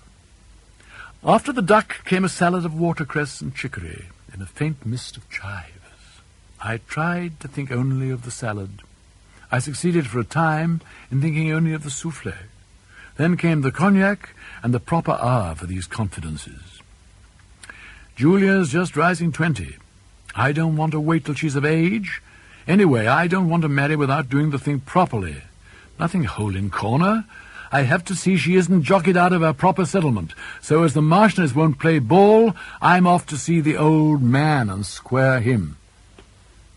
He lit a cigar and sat back at peace with the world. I, too, was at peace in another world than his. We both were happy. He talked of Julia, and I heard his voice, unintelligible at a great distance, like a dog's barking miles away on a still night. At the beginning of May, the engagement was announced. I saw the notice in the Continental Daily Mail and assumed that Rex had squared the old man, but things did not go as were expected. The next news I had of them was in the middle of June, when I read that they had been married very quietly at the Savoy Chapel. It is time to speak of Julia, who till now has played an intermittent and somewhat enigmatic part in Sebastian's drama. It was thus she appeared to me at the time, and I to her. On my side, the interest was keener, for there was always the physical likeness between brother and sister, which, caught repeatedly in different poses under different lights, each time pierced me anew. And as Sebastian in his sharp decline seemed daily to fade and crumble, so much the more did Julia stand out clear and firm. When I first met her, when she met me in the station yard and drove me home through the twilight that high summer of 1923, she was just eighteen and fresh from her first London season. Some said it was the most brilliant season since the war, that things were getting into their stride again. Julia was at the centre of it. There were then remaining perhaps half a dozen London houses which could be called historic. Marchmain House in St. James's was one of them, and the ball given for Julia, in spite of the ignoble costume of the time, was by all accounts a splendid spectacle. Sebastian went down for it, and half-heartedly suggested my coming with him. I refused, and came to regret my refusal, for it was the last ball of its kind given there, the last of a splendid series. How could I have known? There seemed time for everything in those days. The world was open to be explored at leisure. I was so full of Oxford that summer. London could wait, I thought. Nothing could have been further from Julia's ambitions than a royal marriage. She knew, or thought she knew, what she wanted, and it was not that. But wherever she turned, it seemed her religion stood as a barrier between her and her natural goal. As it seemed to her, the thing was a dead loss. If she apostatized now, having been brought up in the church, she would go to hell, while the Protestant girls of her acquaintance, schooled in happy ignorance, could marry eldest sons, live at peace with their world, and get to heaven before her. She had made a preposterous little picture of the kind of man who would do, he was an English diplomat of great but not very virile beauty, thirty-two or three, and recently and tragically widowed. Julia thought she would prefer a man a little subdued by earlier grief. Someone like that would do, Julia thought, and she was in search of him when she met me at the railway station. I was not her man. Julia left Sebastian and me at Brideshead and went to stay with an aunt, Lady Roscommon, in her villa at Cap Ferrat. All the way she pondered her problem, for by that time she had met Rex Mottram. Rex's age was greatly in his favour, for among Julia's friends there was a kind of gerontophilic snobbery. Young men were held to be gauche and pimply. Rex, indeed, was neither starched nor wrinkled. His seniors thought him a pushful young cad, but Julia recognized the unmistakable chic the flavour of Max and F.E. and the Prince of Wales, of the big table in the sporting club, the second magnum and the fourth cigar, of the chauffeur kept waiting hour after hour without compunction, which her friends would envy. His social position was unique. It had an air of mystery, even of crime about it. People said Rex went about armed. Rex and Brenda Champion were staying at the next villa on Cap Ferrat, taken that year by a newspaper magnate and frequented by politicians. They would not normally have come within Lady Roscommon's ambit, but living so close, the parties mingled, and at once Rex began warily to pay his court. Julia went to Salzburg to join her mother. Aunt Fanny tells me you've made great friends with Mr. Mottram. I'm sure he can't be very nice. I don't think he is, said Julia. I don't know that I like nice people. Rex, in the comparative freedom of London, became abject to Julia. He planned his life about hers, going where he would meet her, ingratiating himself with those who could report well of him to her. He sat on a number of charitable committees in order to be near Lady Marchmain. He offered his services to Brideshead in getting him a seat in Parliament, but was there rebuffed.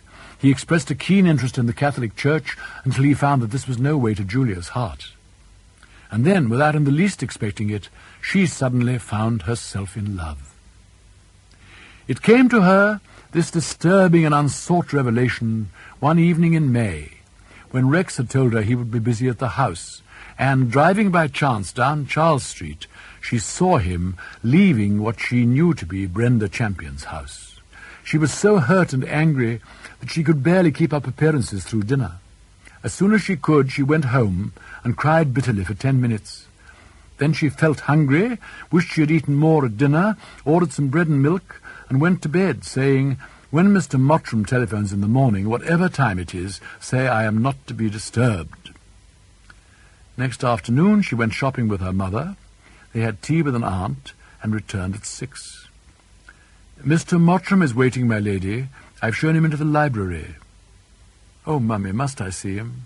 There'll be a scene if I do. Nonsense, Julia. You twist that poor man round your finger. So Julia went into the library and came out an hour later, engaged to be married. Oh, Mummy, I warned you this would happen if I went in there. Thus began a year's secret engagement for Julia, a time of great stress, for Rex made love to her that afternoon for the first time, not as it happened to her once or twice before with sentimental and uncertain boys, but with a passion that disclosed the corner of something like it in her. Their passion frightened her, and she came back from the confessional one day, determined to put an end to it. Otherwise I must stop seeing you, she said. Rex was humble at once, just as he had been in the winter, day after day, when he used to wait for her in the cold in his big car. If only we could be married immediately, she said. She took her problem to Farm Street and propounded it in general terms, not in the confessional, but in a dark little parlour kept for such interviews. Surely, father, it can't be wrong to commit a small sin myself in order to keep him from a much worse one. But the gentle old Jesuit was unyielding. She barely listened to him. He was refusing her what she wanted. That was all she needed to know. When he had finished, he said, now you had better make your confession. No, thank you, she said, as though refusing the offer of something in a shop. I don't think I want to today, and walked angrily home. From that moment, she shut her mind against her religion. Then, after Julia had refused to make her Christmas communion, and Lady Marchmain had found herself betrayed, first by me, then by Mr. Samgrass, then by Cordelia, in the first grey days of 1925, she decided to act. She forbade all talk of an engagement. She forbade Julia and Rex ever to meet. Lady Marchmain disliked him. Lord Marchmain was on the whole relieved that Julia should have chosen so well, and gave his consent to an immediate marriage. There was trouble about the marriage settlement, with which Julia refused to interest herself. The lawyers were in despair. Rex absolutely refused to settle any capital. Rex hoped to have the whole of Julia's dowry in his hands to make it work for him. The lawyers insisted on tying it up, but they could not get, as they asked, a like sum from him. Finally, grudgingly, he agreed to insure his life. Last and least came the question of Rex's religion. He had once attended a royal wedding in Madrid, and he wanted something of the kind for himself. There's one thing your church can do, he said, put on a good show. You never saw anything to equal the cardinals. How many do you have in England? Only one, darling. Only one? Can we hire some others from abroad? It was then explained to him that a mixed marriage was a very unostentatious affair. How do you mean mixed? I'm not a nigger or anything? No, darling, between a Catholic and a Protestant. Oh, that. Well, if that's all, it's soon unmixed. I'll become a Catholic. What does one have to do? So Rex was sent to Farm Street to Father Mowbray, a priest renowned for his triumphs with obdurate catechumens. After the third interview, he came to tea with Lady Marchmain. The first day I wanted to find out what sort of religious life he had till now, so I asked him what he meant by prayer. He said, I don't mean anything, you tell me. I tried to in a few words, and he said, Right, so much for prayer, what's the next thing? I gave him the catechism to take away. Yesterday I asked him whether our Lord had more than one nature. He said, Just as many as you say, Father. Then again I asked him, Supposing the Pope looked up and saw a cloud and said it's going to rain, would that be bound to happen? Oh, yes, Father. But supposing it didn't? He thought for a moment and said, I suppose it would be sort of raining spiritually, and we were too sinful to see it.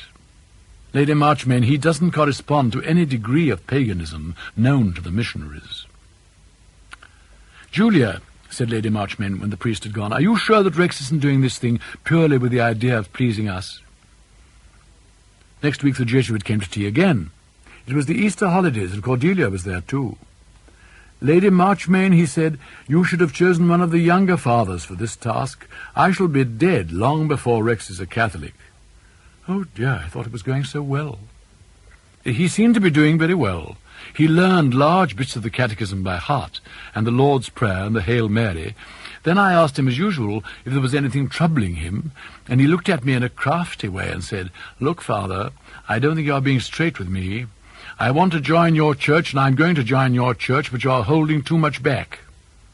I asked what he meant, and he said, I've had a long talk with a Catholic, a very pious, well-educated one, and I've learned a thing or two. For instance, that you have to sleep with your feet pointing east, because that's the direction of heaven, and if you die in the night, you can walk there. Now, I'll sleep with my feet pointing any way that suits Julia, but you expect a grown man to believe about walking to heaven? And what about the Pope, who made one of his horses a cardinal? And what about the box you keep in the church porch? And if you put in a pound note with someone's name on it, they get sent to hell. I don't say there mayn't be a good reason for all this, he said, but you ought to tell me about it and not let me find out for myself. What can the poor man have meant, said Lady Marchmain. You see, he's a long way from the church yet, said Father Mowbray. But who can he have been talking to? Did he dream it all? Cordelia, what's the matter? what a chump! Oh, Mummy, what a glorious chump! Cordelia, it was you. Oh, Mummy, who could have dreamed he'd swallow it? I told him such a lot besides about sacred monkeys and the Vatican, all kinds of things. Well, you've very considerably increased my work, said Father Mowbray. Poor Rex, said Lady Marchmain. You know, I think it makes him rather lovable. You must treat him like an idiot child, Father Mowbray. So the instruction was continued, and Father Mowbray at length consented to receive Rex a week before his wedding. You'd think they'd be all over themselves to have me in, Rex complained. I can be a lot of help to them one way and another. Instead, they're like the chaps who issue cards for a casino. What's more, he added, Cordelia's got me so muddled I don't know what's in the catechism and what she's invented. Thus things stood three weeks before the wedding. The cards had gone out, presents were coming in fast, the bridesmaids were delighted with their dresses. Then came what Julia called Bridie's bombshell. You'd better pack all that stuff up again. Bridie, what do you mean? Only that the wedding's off. Bridie. I thought I'd better make some inquiries about my prospective brother-in-law, as no one else seemed interested, said Brideshead. I got the final answer tonight.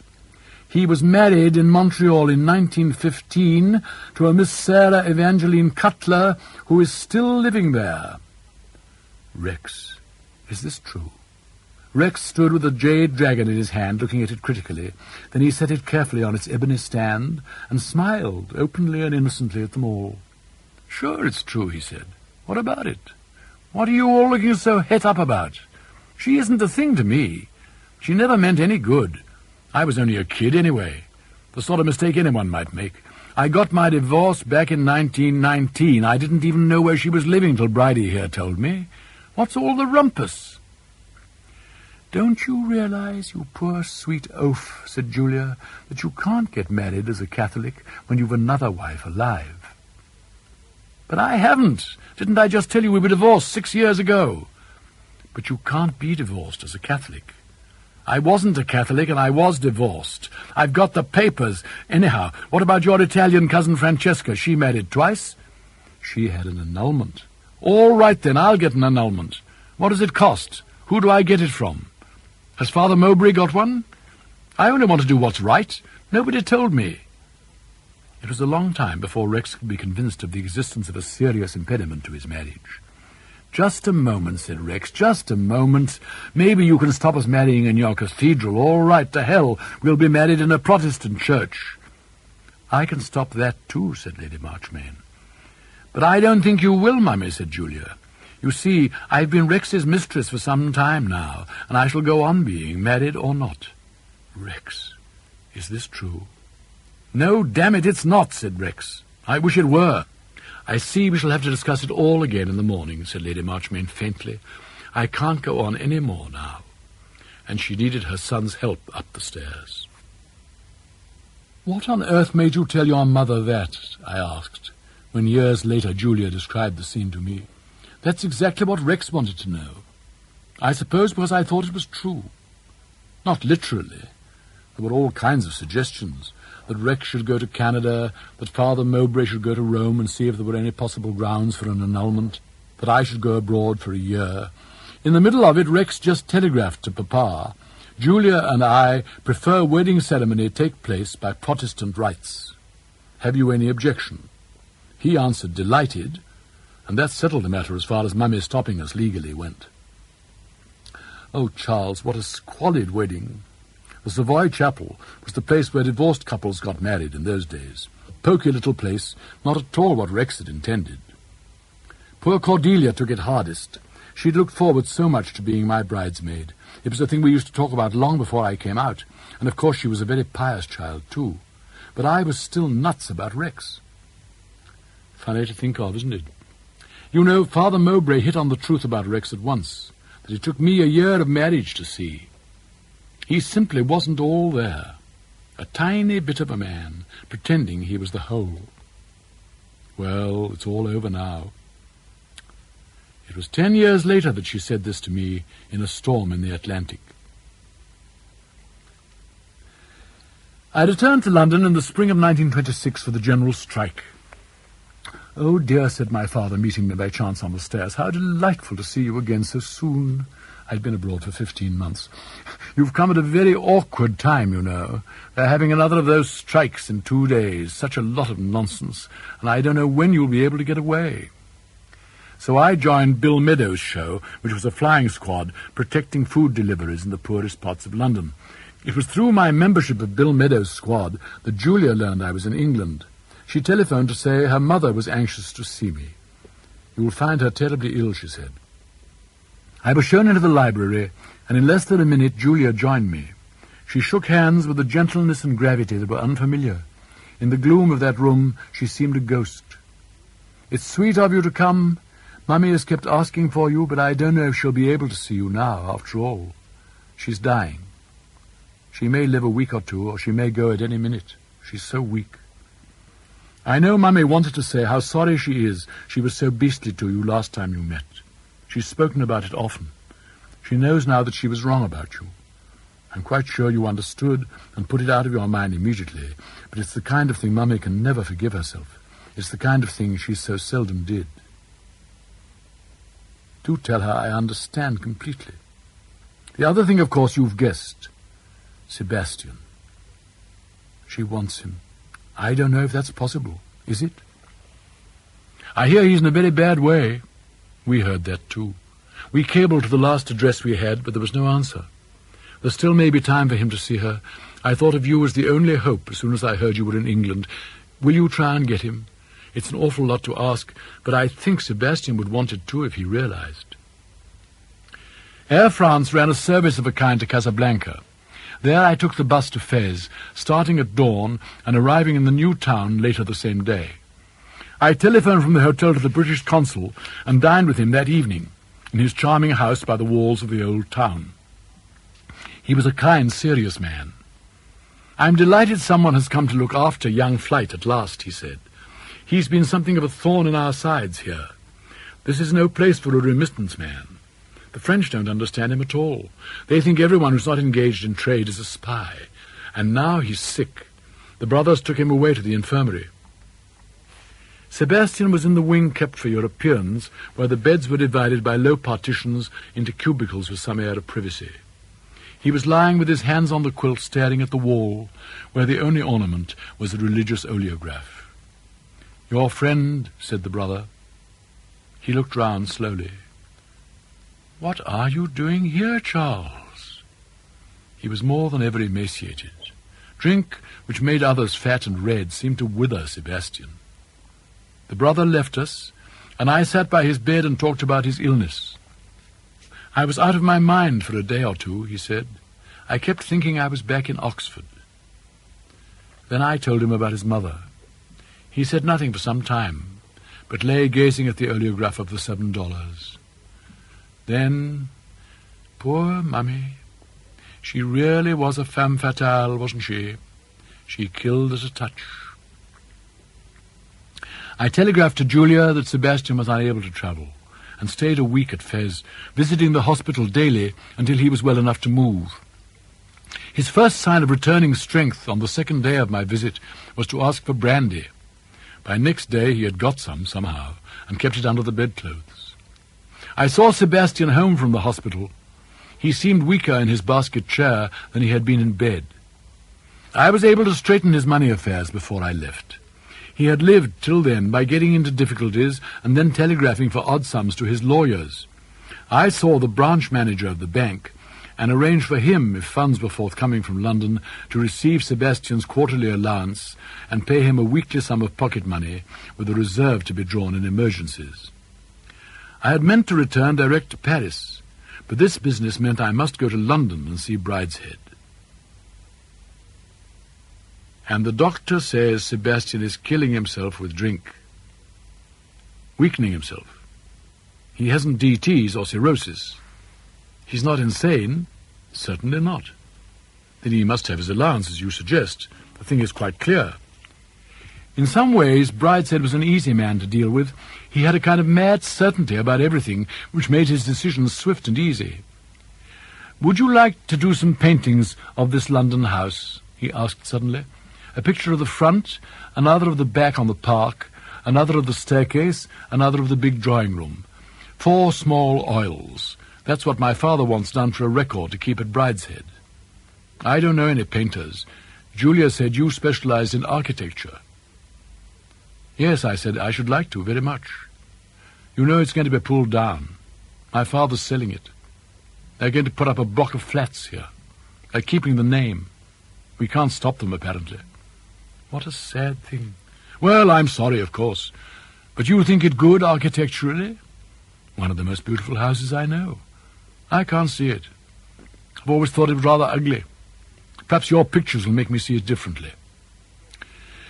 This was my first commission. I had to work against time, for the contractors were only waiting for the final signature to start their work of destruction. In spite, or perhaps because of that, for it is my vice to spend too long on a canvas, never content to leave well alone, those four paintings are particular favourites of mine, and it was their success, both with myself and others, that confirmed me in what has since been my career. I began in the long drawing-room, for they were anxious to shift the furniture. Bit by bit, minute by minute, the thing came into being. There were no difficulties. The intricate multiplicity of light and colour became a whole. The right colour was where I wanted it on the palette. Each brush stroke, as soon as it was complete, seemed to have been there always. Presently, on the last afternoon, I heard a voice behind me say, May I stay here and watch? I turned and found Cordelia. She was now fifteen, and had grown tall, nearly to her full height, in the last eighteen months. She had not the promise of Julia's full quattrocento loveliness. There was a touch of Brideshead already in her length of nose and high cheekbone. She was in black, mourning for her mother. I'm tired, I said. I bet you are. Is it finished? Practically. I must go over it again tomorrow. Do you know, it's long past dinner time. There's no one here to cook anything now. I only came up today and didn't realize how far the decay had gone. You wouldn't like to take me out to dinner, would you? We left by the garden door into the park and walked in the twilight to the Ritz Grill. You've seen Sebastian? He won't come home even now. I did not realize till then that she had understood so much. I said so. Well, I love him more than anyone, she said. It's sad. They've closed the chapel at Brideshead, Bridie and the bishop. Mummy's requiem was the last mass said there. After she was buried, the priest came in. I was there alone. I don't think he saw me, and took out the altar stone and put it in his bag. Then he burned the wads of wool with the holy oil on them and threw the ash outside. He emptied the holy water stoup and blew out the lamp in the sanctuary and left the tabernacle open and empty, as though from now on it was always to be Good Friday.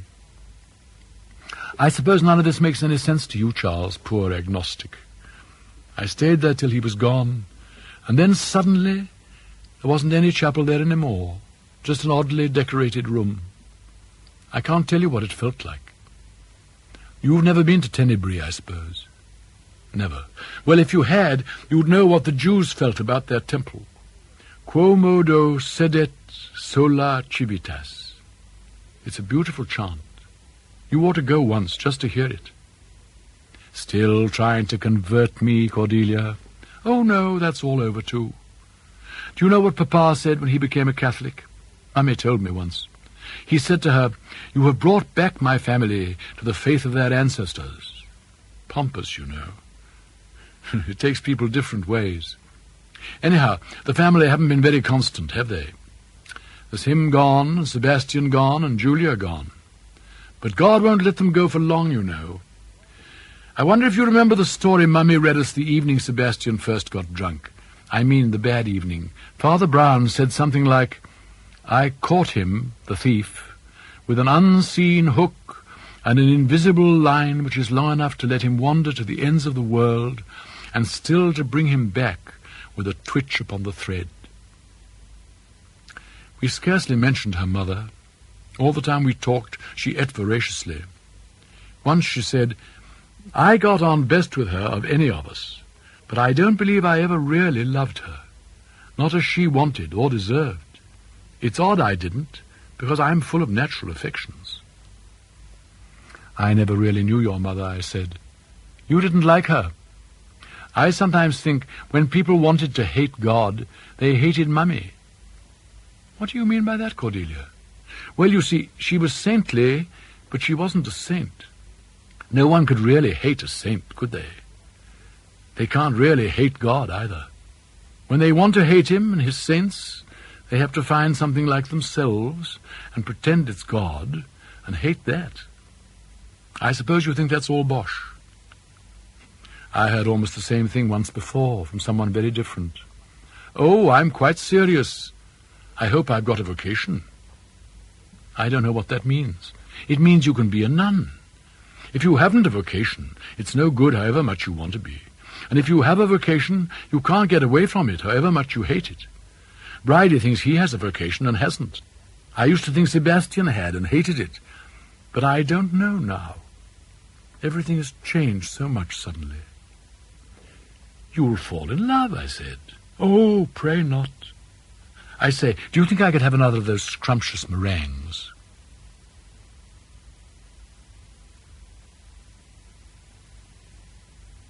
My theme is memory, that winged host that soared about me one grey morning of wartime. For nearly ten dead years after that evening with Cordelia, I was borne along a road outwardly full of change and incident, but never during that time, except sometimes in my painting, and that at longer and longer intervals, did I come alive as I had been during the time of my friendship with Sebastian. I took it to be youth, not life, that I was losing. My work upheld me, for I had chosen to do what I could do well, did better daily, and liked doing. Incidentally, it was something which no one else at that time was attempting to do. I became an architectural painter. But as the years passed, I began to mourn the loss of something I had known in the drawing room of Marchmain House and once or twice since. The intensity and singleness and the belief that it was not all done by hand. In a word, the inspiration. In quest of this fading light, I went abroad in the Augustan manner, laden with the apparatus of my trade, for two years' refreshment among alien styles. I did not go to Europe. By slow but not easy stages, I travelled through Mexico and Central America in a world which had all I needed, and the change from Parkland and Hall should have quickened me and set me right with myself. But despite this isolation and this long sojourn in a strange world, I remained unchanged, still a small part of myself pretending to be whole. I discarded the experience of those two years with my tropical kit and returned to New York as I had set out. I had a fine haul, eleven paintings and fifty-odd drawings. My wife, who crossed to New York to meet me and saw the fruits of our separation displayed in my agent's office, summed the thing up better by saying, Of course I can see they're perfectly brilliant and really rather beautiful in a sinister way, but somehow I don't feel they're quite you. in Europe, my wife was sometimes taken for an American because of her dapper and jaunty way of dressing and the curiously hygienic quality of her prettiness. In America, she assumed an English softness and reticence. She arrived a day or two before me and was on the pier when my ship docked. It has been a long time, she said fondly when we met. And so a little time later, Celia and I embarked for the return journey to England. My wife's first thought on coming aboard was for the passenger list. Such a lot of friends, she said. It's going to be a lovely trip. Let's have a cocktail party this evening. The companionways were no sooner cast off than she was busy with the telephone. Julia, this is Celia, Celia Ryder. It's lovely to find you on board. What have you been up to? Come and have a cocktail this evening and tell me all about it. Julia who? Mottram. I haven't seen her for years. Nor had I. Not, in fact, since my wedding day. Not to speak to for any time since the private view of my exhibition, where the four canvases of Marchmain House lent by Brideshead had hung together, attracting much attention. Those pictures were my last contact with the Flytes. Our lives, so close for a year or two, had drawn apart. Sebastian I knew was still abroad. Rex and Julia, I sometimes heard said, were unhappy together. Rex was not prospering quite as well as had been predicted. He remained on the fringe of the government, prominent but vaguely suspect. I turned into some of the halls of the ship, which were huge without any splendour, as though they had been designed for a railway coach, and preposterously magnified. Here I am, I thought, back from the jungle, back from the ruins, here where wealth is no longer gorgeous, and power has no dignity. Quo modo sedet sola civitas. Charles. I looked behind me. Julia was sitting in a cube of blotting paper, her hands folded in her lap, so still that I had passed by without noticing her. I heard you were here. Celia telephoned to me. It's delightful. I never see you now, she said. I never seem to see anyone I like. I don't know why. But she spoke as though it were a matter of weeks rather than of years, as though, too, before our parting, we had been firm friends. She was not yet thirty, but was approaching the zenith of her loveliness, all her rich promise abundantly fulfilled. Time had wrought change, too. Not for her the sly, complacent smile of La Gioconda. The years had been more than the sound of lyres and flutes, and had saddened her. Later, Julia said, The purser says we're heading for dirty weather. What do you know about that? Far less than the purser.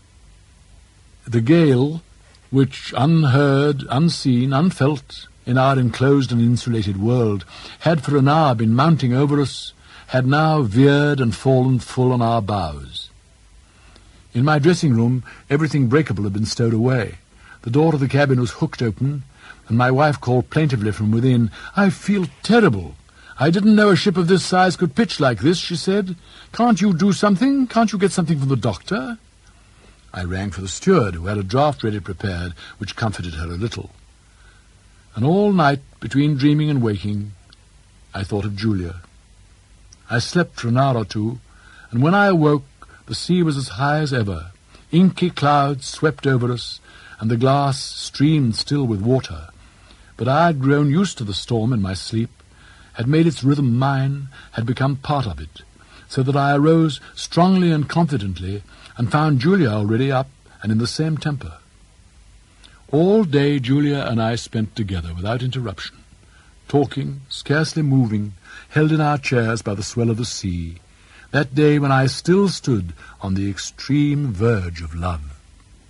Ten hours of talking. What had we to say?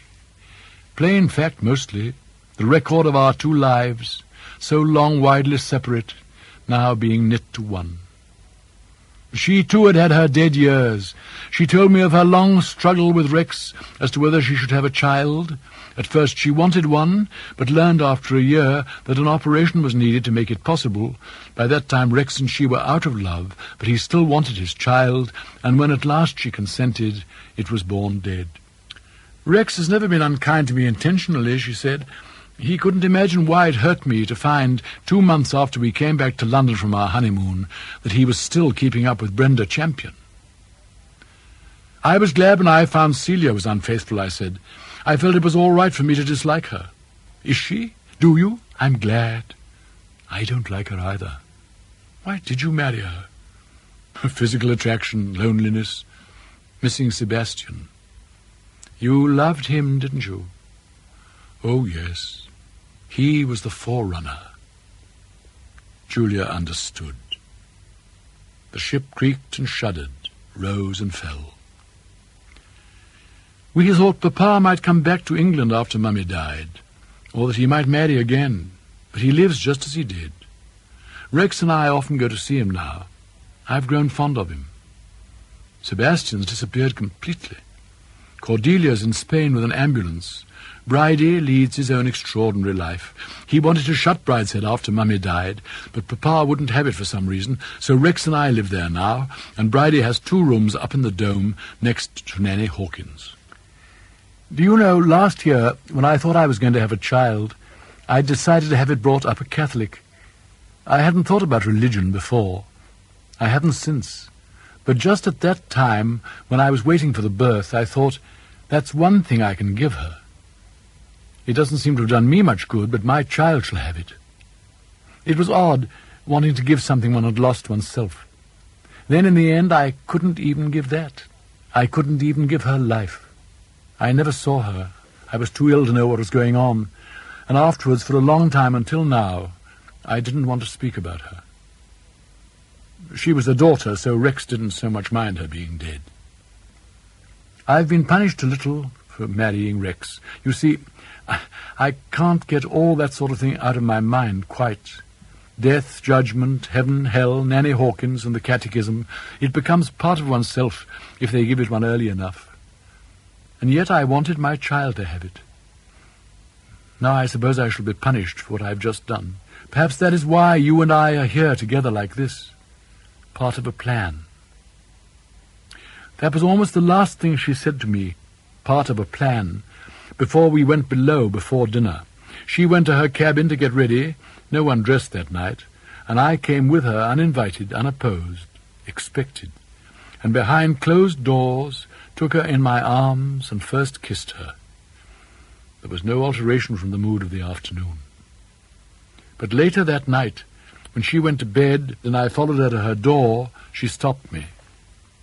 No, Charles, not yet. Perhaps never. I don't know. I don't know if I want love. Then something, some surviving ghost from those dead ten years, for one cannot die even for a little without some loss, made me say, Love? I'm not asking for love. Oh, yes, Charles, you are, she said, and putting up her hand gently stroked my cheek, then shut her door. Next day the wind had again dropped, and again we were wallowing in the swell. Rain ceased at midday. At evening the clouds dispersed, and the sun, astern of us, suddenly broke into the lounge where we sat, putting all the lights to shame. Sunset, said Julia. The end of our day. She rose, and though the roll and pitch of the ship seemed unabated, led me up to the boat deck. She put her arm through mine, and her hand into mine in my greatcoat pocket. The deck was dry and empty, swept only by the wind of the ship's speed. In that minute, with her lips to my ear and her breath warm in the salt wind, Julia said, though I had not spoken, Yes, now. And as the ship righted herself, and for the moment ran into calmer waters, Julia led me below. It was no time for the sweets of luxury. They would come in their season with the swallow and the lime flowers. Now on the rough water there was a formality to be observed, no more. It was as though a deed of conveyance of her narrow loins had been drawn and sealed. I was making my first entry as the freeholder of a property I would enjoy and develop at leisure. Oh dear, said Julia, where can we hide in fair weather, we orphans of the storm? I could not leave her that night, but early next morning, as once again I made my way back along the corridor, I found I could walk without difficulty. The ship rode easily on a smooth sea, and I knew our solitude was broken.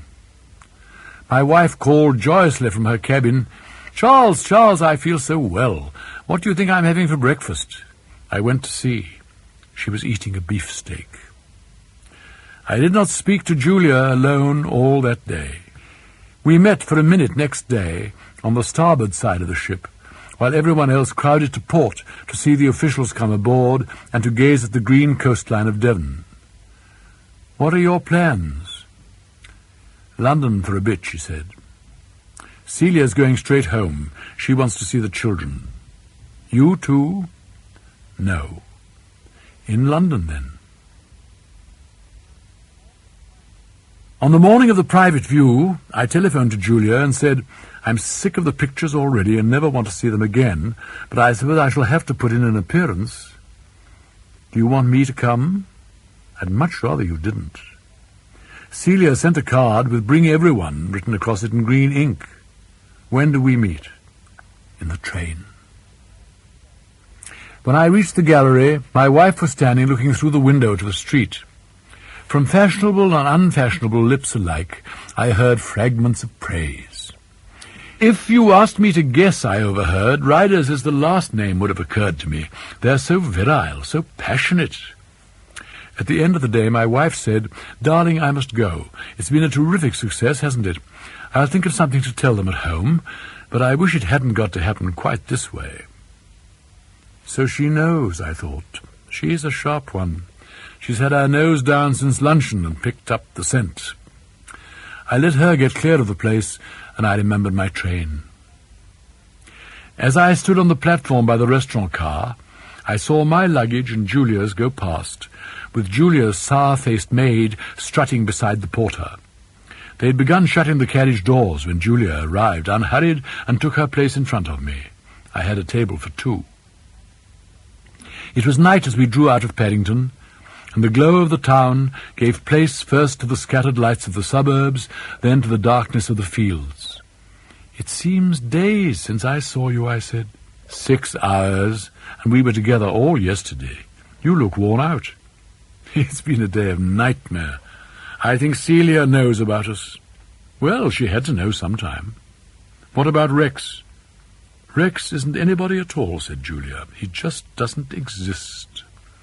The knives and forks jingled on the tables as we sped through the darkness.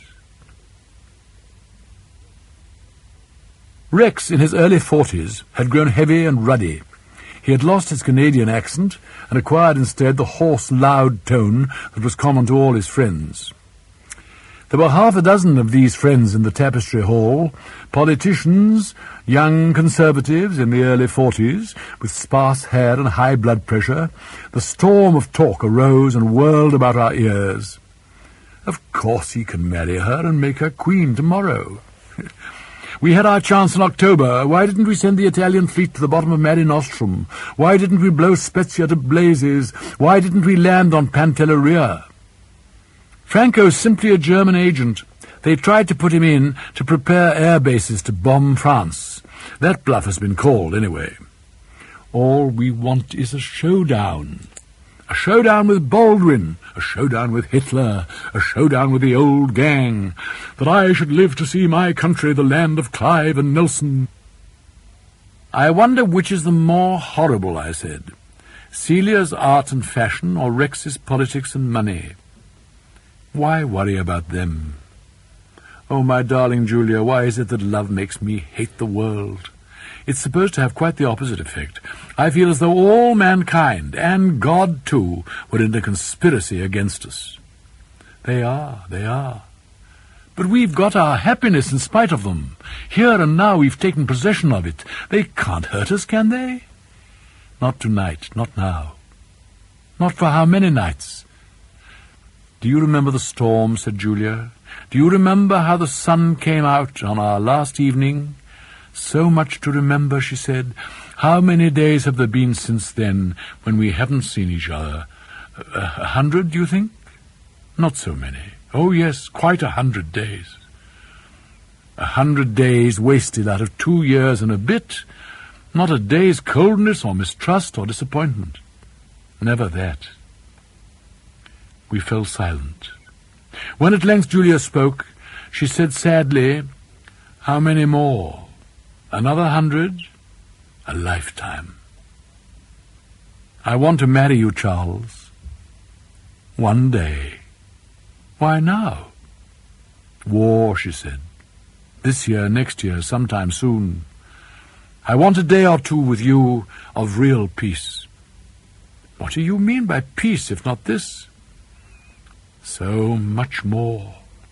And then in a chill, matter-of-fact tone, she continued, Marriage isn't a thing we can take when the impulse moves us. There must be a divorce, two divorces. We must make plans. Plans, divorce, war, on an evening like this? Sometimes, said Julia, I feel the past and the future pressing so hard on either side that there's no room for the present at all. Shutters were up, curtains drawn, candles lit in the painted parlour. Hello, it's late for three. Lord Brideshead arrived half an hour ago, my lady. He sent a message, would you please not wait dinner for him, as he may be a little late. When we had been a quarter of an hour at the table, he joined us, coming ponderously into the room in the bottle green velvet smoking suit which he kept at Brideshead and always wore when he was there. At thirty-eight he had grown heavy and bald, and might have been taken for forty-five. Well, he said, well, only you two. I hope to find Rex here. He sat down opposite me and bowed his sparse pink head over his plate. Well, Bridie, what's the news? As a matter of fact, he said, I have some news. I am engaged to be married. I hope you're pleased. Bridie, how, how very exciting. Who to? Oh, no one you know. Is she pretty? I don't think you'd exactly call her pretty. Comely is the word I think of in her connection. She is a big woman. Fat? No, big. She is called Mrs. Muspratt. Her Christian name is Beryl. I have known her for a long time, but until last year she had a husband. Now she is a widow. But, Bridie, where did you find her? Her late husband, Admiral Muspratt, collected matchboxes, he said with complete gravity. Julia trembled on the verge of laughter, recovered her self-possession, and asked, You're not marrying her for her matchboxes? No, no. The whole collection was left to the Falmouth Town Library. Bridie, eh, said Julia, you sly, smug old brute, why haven't you brought her here? Oh, I, I couldn't do that, you know. What can you mean? Brideshead raised his head and looked solemnly at his sister, and continued in the same simple way, as though he were saying nothing particularly different from what had gone before. I couldn't ask her here as things are. You must understand that Beryl is a woman of strict Catholic principle, fortified by the prejudices of the middle class. I couldn't possibly bring her here. It's a matter of indifference whether you choose to live in sin with Rex, or Charles, or both. I have always avoided inquiry into the details of your ménage but in no case would Beryl consent to be your guest. Julia rose. Why, you pompous ass, she said, stopped, and turned towards the door. At first I thought she was overcome by laughter. Then, as I opened the door to her, I saw with consternation that she was in tears. I hesitated. She slipped past me without a glance. I found her in the darkest refuge of the garden, took her in my arms, and she pressed her face to my heart. Aren't you cold out here? She did not answer, only clung closer to me and shook with sobs. In the two years of our love, which seemed a lifetime, I had not seen her so moved, nor felt so powerless to help.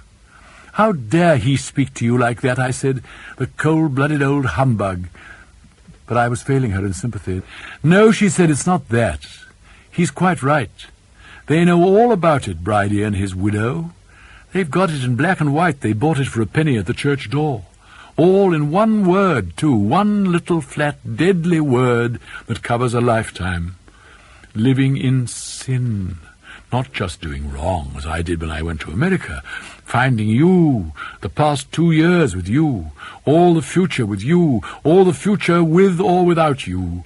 War coming, world ending, sin. A word from so long ago, from Nanny Hawkins stitching by the hearth and the nightlight burning before the Sacred Heart. Cordelia and me with the catechism in Mummy's room before luncheon on Sundays. Mummy carrying my sin with her to church, bowed under it and the black lace veil in the chapel. Mummy dying with it, Christ dying with it, nailed hand and foot, hanging over the bed in the night nursery.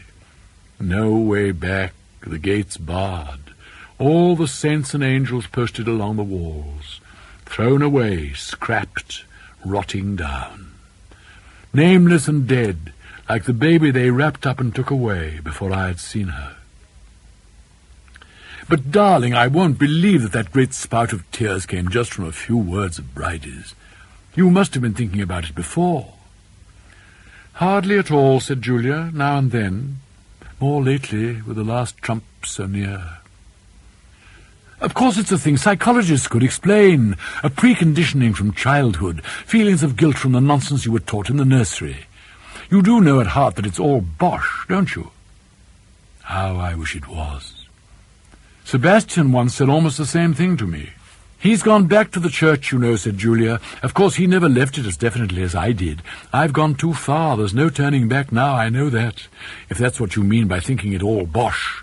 All that I can hope to do is to put my life in some sort of order in a human way before all human order comes to an end. That's why I want to marry you. I should like to have a child. That's one thing I can do. Next night, Rex and his political associates were with us. They won't fight. Goering told a friend of mine, Goebbels told a friend of mine, Ribbentrop told me that the army just kept Hitler in power so long as he was able to get things for nothing. The moment anyone stands up to him, he's finished. The army will shoot him. All that's wanted is a good strong line. We'll give Europe a good strong line. Europe is waiting for a speech from Rex. And a speech from me. And a speech from me.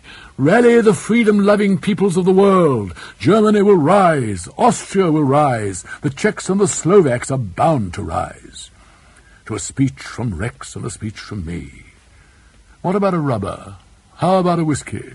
Which of you chaps will have a big cigar? Hello, you two going out? Yes, Rex, said Julia. Charles and I are going into the moonlight. We shut the windows behind us, and the voices ceased. The moonlight lay like hoarfrost on the terrace, and the music of the fountain crept in our ears. The stone balustrade of the terrace might have been the Trojan walls, and in the silent park might have stood the Grecian tents where Cressid lay that night. A few days, a few months, no time to be lost. A lifetime between the rising of the moon and its setting, then the dark. Summer passed. Delirious crowds cheered Neville Chamberlain's return from Munich. Rex made a rabid speech in the House of Commons, which sealed his fate one way or the other. The divorces were much talked of among our friends. Even in that summer of general alarm, there were still corners where private affairs commanded first attention. It was necessary for Rex and Julia to separate formally, and since for the time being Brideshead was still her home, she remained there, and Rex removed his trunks and valet to their house in London. Evidence was taken against Julia and me in my flat. A date was fixed for Brideshead's wedding, early in the Christmas holidays. One afternoon in November, Julia and I stood at a window in the drawing-room, watching the wind at work stripping the lime trees. We shan't see them in spring, said Julia, perhaps never again. Once before, I said, I went away, thinking I should never return. perhaps years later to what's left of it, with what's left of us. A door opened and shut in the darkling room behind us. Wilcox approached through the firelight into the dusk about the long windows. A telephone message, my lady, from Lady Cordelia. Lady Cordelia? Where was she? In London, my lady. Wilcox, how lovely. Is she coming home? She was just starting for the station. She will be here after dinner. I haven't seen her for twelve years, I said. Not since the evening when we dined together, and she spoke of being a nun. The evening when I painted the drawing room at Marchmain House. She was an enchanting child. She's had an odd life. First the convent, then when that was no good, the war in Spain. I have not seen her since then. When Cordelia made her appearance, she was tired from her journey. I thought her an ugly woman.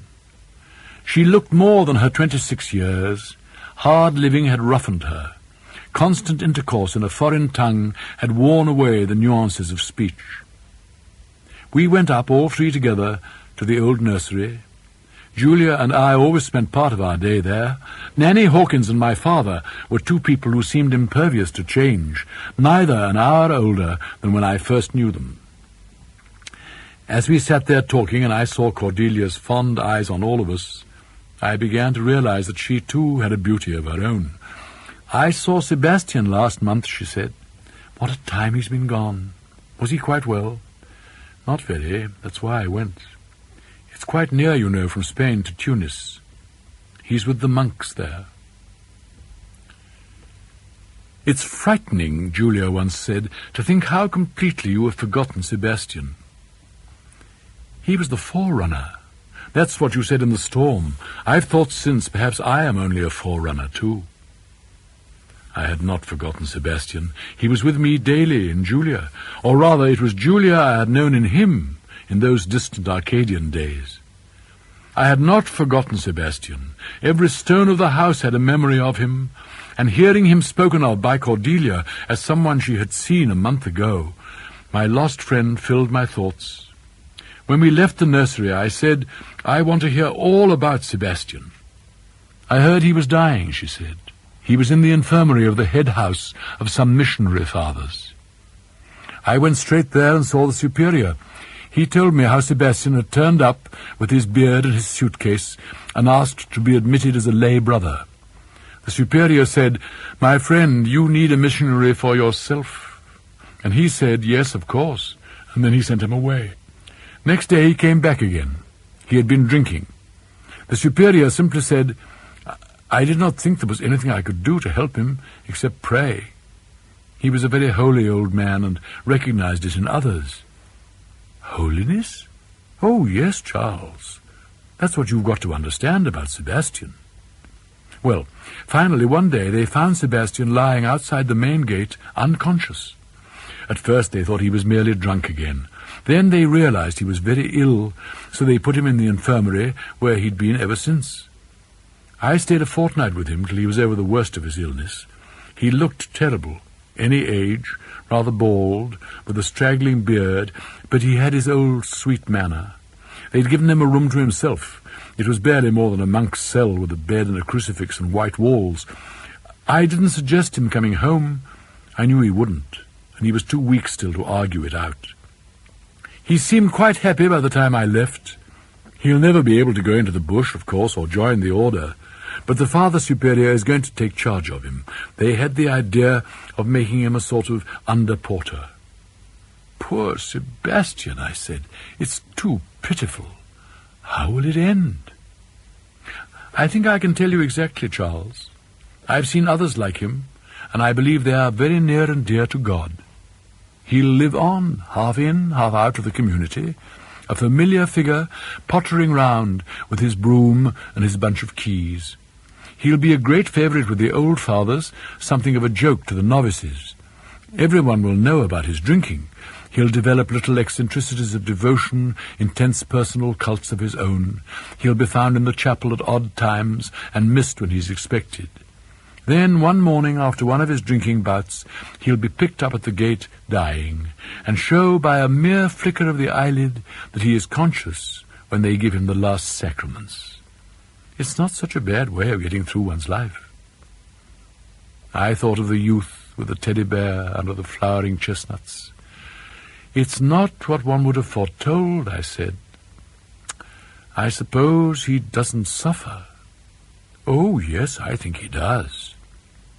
One can have no idea what the suffering may be, to be maimed as he is, no dignity, no power of will.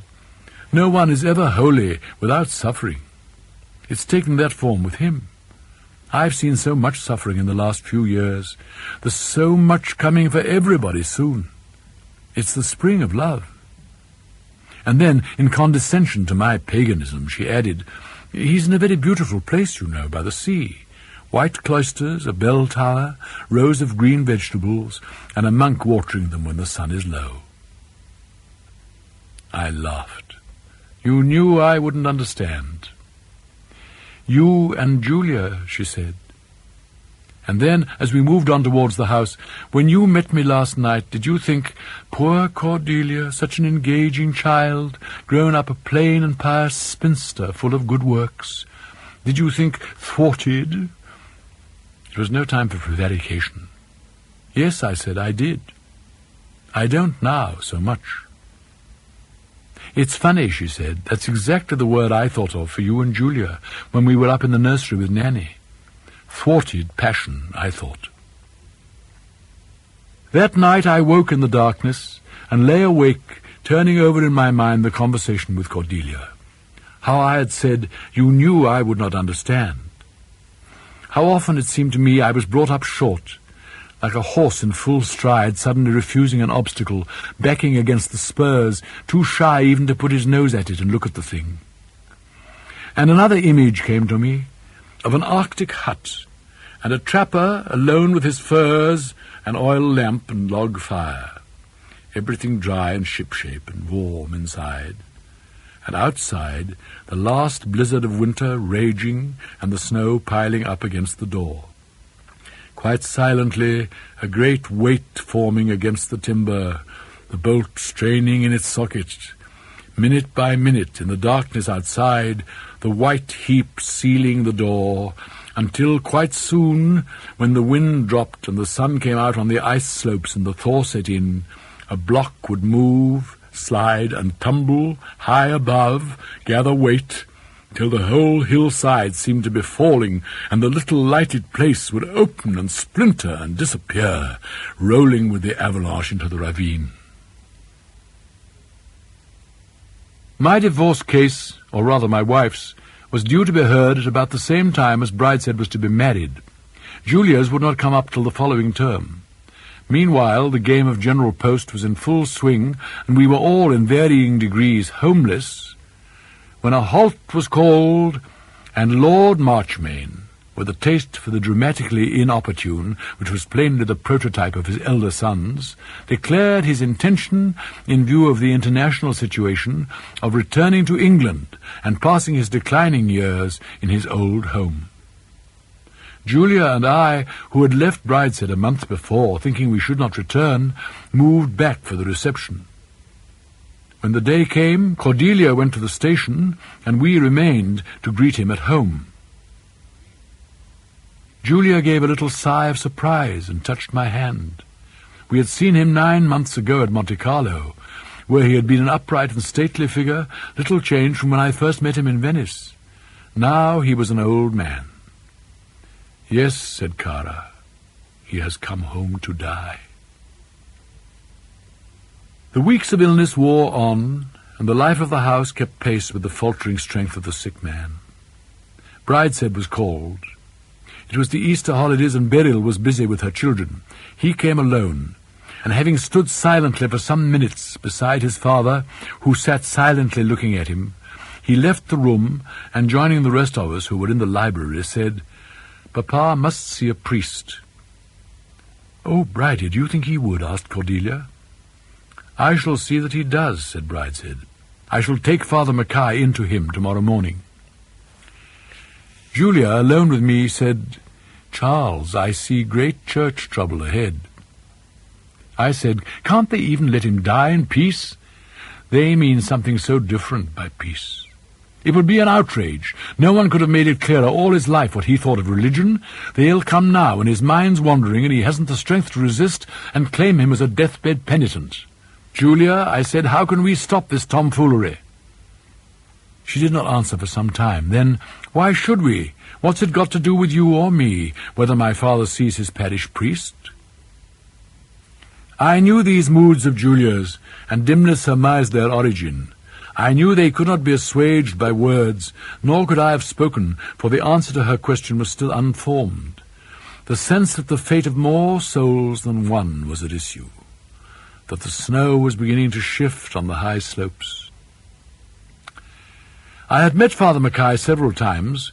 He was a stocky, middle-aged, genial Glasgow Irishman.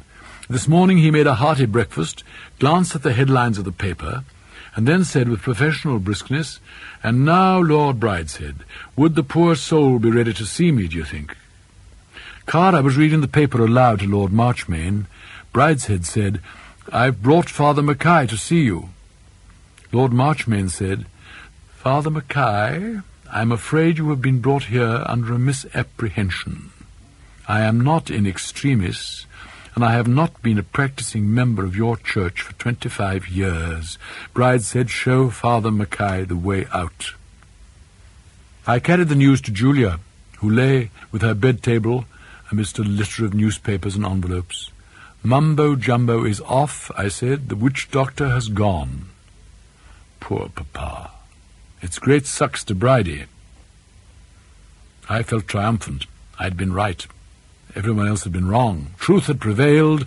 The threat that I had felt hanging over Julia and me ever since that evening at the fountain had been averted, perhaps dispelled forever. The weeks passed. Still Lord Marchmain lived on. In June, my divorce was made absolute, and my former wife married for the second time. Julia would be free in September. The nearer our marriage got, the more wistfully I noticed Julia spoke of it. War was growing nearer too. We neither of us doubted that. Lord Marchmain took little interest in events outside his own room. Next to death, perhaps because they are like death, he feared darkness and loneliness. He liked to have us in his room and the lights burnt all night among the gilt figures. He did not wish us to speak much, but he talked himself, so quietly that we often could not hear him. He talked, I think, because his was the only voice he could trust when it assured him that he was still alive. What he said was not for us, nor for any ears but his own. Better today, better today. I can see now in the corner of the fireplace where the mandarin is holding his gold bell and the crooked tree is in flower below his feet, where yesterday I was confused and took the little tower for another man. Soon I shall see the bridge and the three stalks, and know where the path leads over the hill. Better tomorrow. We live long in our family and marry late. Seventy-three is no great age. Aunt Julia, my father's aunt, lived to be eighty-eight, born and died here, never married, saw the fire on Beacon Hill for the Battle of Trafalgar, always called it the New House. That was the name they had for it in the nursery, and in the fields when unlettered men had long memories. You can see where the old house stood near the village church. They called the field Castle Hill. Those were our roots in the waste hollows of Castle Hill, in the briar and nettle, among the tombs in the old church and the chantry where no clerk sings. We were knights then, barons since Agincourt. The larger honours came with the Georges. Better today. I have lived carefully, sheltered myself from the cold winds, eaten moderately of what was in season, drunk fine claret, slept in my own sheets. I shall live long. When the summer comes, said Lord Marchmain, oblivious of the deep corn and swelling fruit, and the surfeited bees who slowly sought their hives in the heavy afternoon sunlight outside his windows, when the summer comes, I shall leave my bed and sit in the open air and breathe more easily. Thus till mid-July Lord Marchmain lay dying, wearing himself down in the struggle to live. Then, since there was no reason to expect an immediate change, Cordelia went to London to see her women's organization about the coming emergency. That day, Lord Marchmain became suddenly worse. He lay silent and quite still, breathing laboriously. Only his open eyes, which sometimes moved about the room, gave any sign of consciousness. Is this the end? Julia asked. It is impossible to say, the doctor answered. When he does die, it will probably be like this. He may recover from the present attack. The only thing is not to disturb him. The least shock will be fatal. I'm going for Father Mackay, she said. I was not surprised. I'd seen it in her mind all the summer. When she had gone, I said to the doctor, we must stop this nonsense. He said, my business is with the body. It's not my business to argue whether people are better alive or dead or what happens to them after death. I only try to keep them alive. And you said just now any shock would kill him. What could be worse for a man who fears death as he does than to have a priest brought to him, a priest he turned out when he had the strength? I think it may kill him. In half an hour, Julia was back with Father Mackay. We all met in the library. I've telegraphed for Bridie and Cordelia, I said. I hope you agree that nothing must be done till they arrive. I wish they were here, said Julia. You can't take the responsibility alone, I said. Everyone else is against you. Dr. Grant, tell her what you said to me just now. I said that the shock of seeing a priest might well kill him. Without that, he may survive this attack. As his medical man, I must protest against anything being done to disturb him. Julia, who had been standing still and silent, suddenly moved. Thank you for your advice, Doctor, she said. I take full responsibility for whatever happens. Father Mackay, will you please come and see my father now? And without looking at me, led him to the door. The priest bent over Lord Marchmain and blessed him. Julia and Cara knelt at the foot of the bed. The doctor, the nurse, and I stood behind them. Now, said the priest, I know you are sorry for all the sins of your life, aren't you? Make a sign if you can. You're sorry, aren't you? But there was no sign. Try and remember your sins. Tell God you are sorry. I'm going to give you absolution. While I am giving it, tell God you are sorry you have offended him. He began to speak in Latin. I recognized the words ego te absolvo in nomine patris, and saw the priest make the sign of the cross. Then I knelt too and prayed, O oh God, if there is a God, forgive him his sins, if there is such a thing as sin. And the man on the bed opened his eyes and gave a sigh, the sort of sigh I had imagined people made at the moment of death, but his eyes moved so that we knew there was still life in him. I suddenly felt the longing for a sign if only of courtesy, if only for the sake of the woman I loved, who knelt in front of me, praying I knew for a sign. It seemed so small a thing that was asked, the bare acknowledgment of a present, a nod in the crowd. I prayed more simply, God forgive him his sins, and please God make him accept your forgiveness. So small a thing to ask. The priest took a little silver box from his pocket and spoke again in Latin, touching the dying man with an oily wad. He finished what he had to do, put away the box, and gave the final blessing. Suddenly, Lord Marchmain moved his hand to his forehead. I thought he'd felt the touch of the chrism and was wiping it away. Oh, God, I prayed, don't let him do that. But there was no need for fear. The hand moved slowly down his breast, then to his shoulder, and Lord Marchmain made the sign of the cross.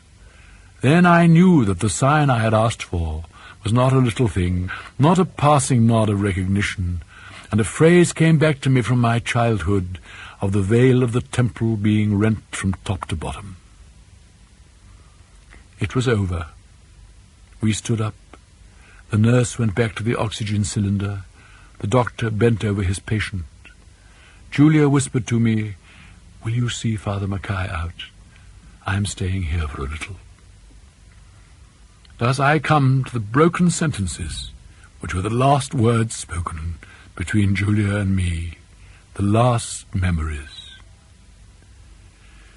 When her father died, Julia remained some minutes with his body. When at last we met alone, it was by stealth, like young lovers. Julia said, Here in the shadow, in the corner of the stair, a minute to say good-bye. So long to say so little. You knew since this morning, since before this morning, all this year. I didn't know till today. Oh, my dear, if you could only understand, then I could bear to part, or, or bear it better. I should say my heart was breaking if I believed in broken hearts. I can't marry you, Charles. I can't be with you ever again. I know. How can you know? What will you do? Just go on, alone. How can I tell what I shall do? You know the whole of me. You know I'm not one for a life of mourning. I've always been bad. Probably I shall be bad again, punished again. But the worse I am, the more I need God. I can't shut myself out from His mercy. That is what it would mean starting a life with you without Him. One can only hope to see one step ahead. But I saw today there was one thing unforgivable, like things in the schoolroom so bad that they were unpunishable, that only Mummy could deal with, the bad thing I was on the point of doing that I am not quite bad enough to do, to set up a rival good to God's. Why should I be allowed to understand that, and not you, Charles? It may be because of Mummy, Nanny, Cordelia, Sebastian, perhaps Bridie and Mrs. Muspratt, keeping my name in their prayers. Or it may be a private bargain between me and God, that if I give up this one thing I want so much, however bad I am, he won't quite despair of me in the end. Now we shall both be alone, and I shall have no way of making you understand. I don't want to make it easier for you, I said. I hope your heart may break, but I do understand. The avalanche was down. The hillside swept bare behind it. The last echoes died on the white slopes. The new mound glittered and lay still in the silent valley.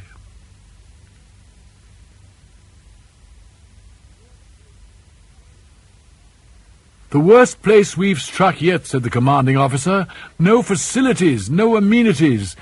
Ryder, you will find a fatigue party of fifty and report to the quartering commandant at the house at 10.45 hours. He'll show you what we're taking over.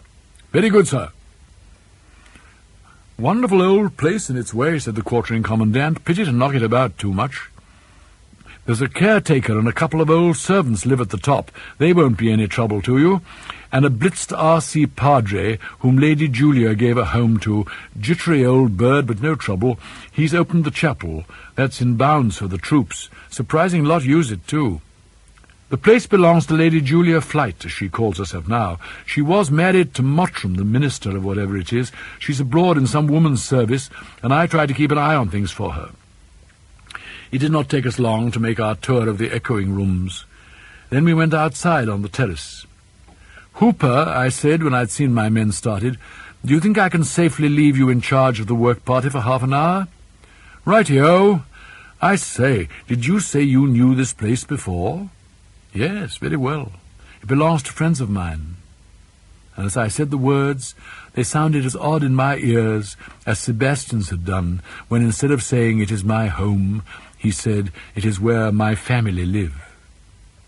It doesn't seem to make any sense, one family in a place this size. What's the use of it? Well, I suppose the brigade are finding it useful. But that's not what it was built for, is it? No, I said, that's not what it was built for. Perhaps that's one of the pleasures of building, like having a son, wondering how he'll grow up. I don't know. I never built anything, and I forfeited the right to watch my son grow up. I'm homeless, childless, middle-aged, loveless Hooper. There was one part of the house I had not yet visited, and I went there now. The chapel showed no ill effects of its long neglect. The Art Nouveau paint was as fresh and bright as ever. The Art Nouveau lamp burned once more before the altar. I said a prayer, an ancient, newly learned form of words, and left, turning towards the camp. And as I walked back and the cookhouse bugle sounded ahead of me, I thought, the builders did not know the uses to which their work would descend. They made a new house with the stones of the old castle. Year by year, generation after generation, they enriched and extended it. Year by year, the great harvest of timber in the park grew to ripeness, until, in sudden frost, came the age of Hooper. The place was desolate, and the work all brought to nothing. Quomodo sedet sola civitas. Vanity of vanities, all is vanity.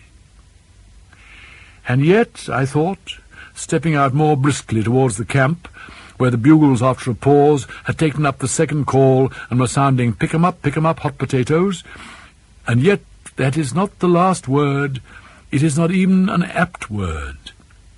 It is a dead word from ten years back. Something quite remote from anything the builders intended has come out of their work, and out of the fierce little human tragedy in which I played, something none of us thought about at the time.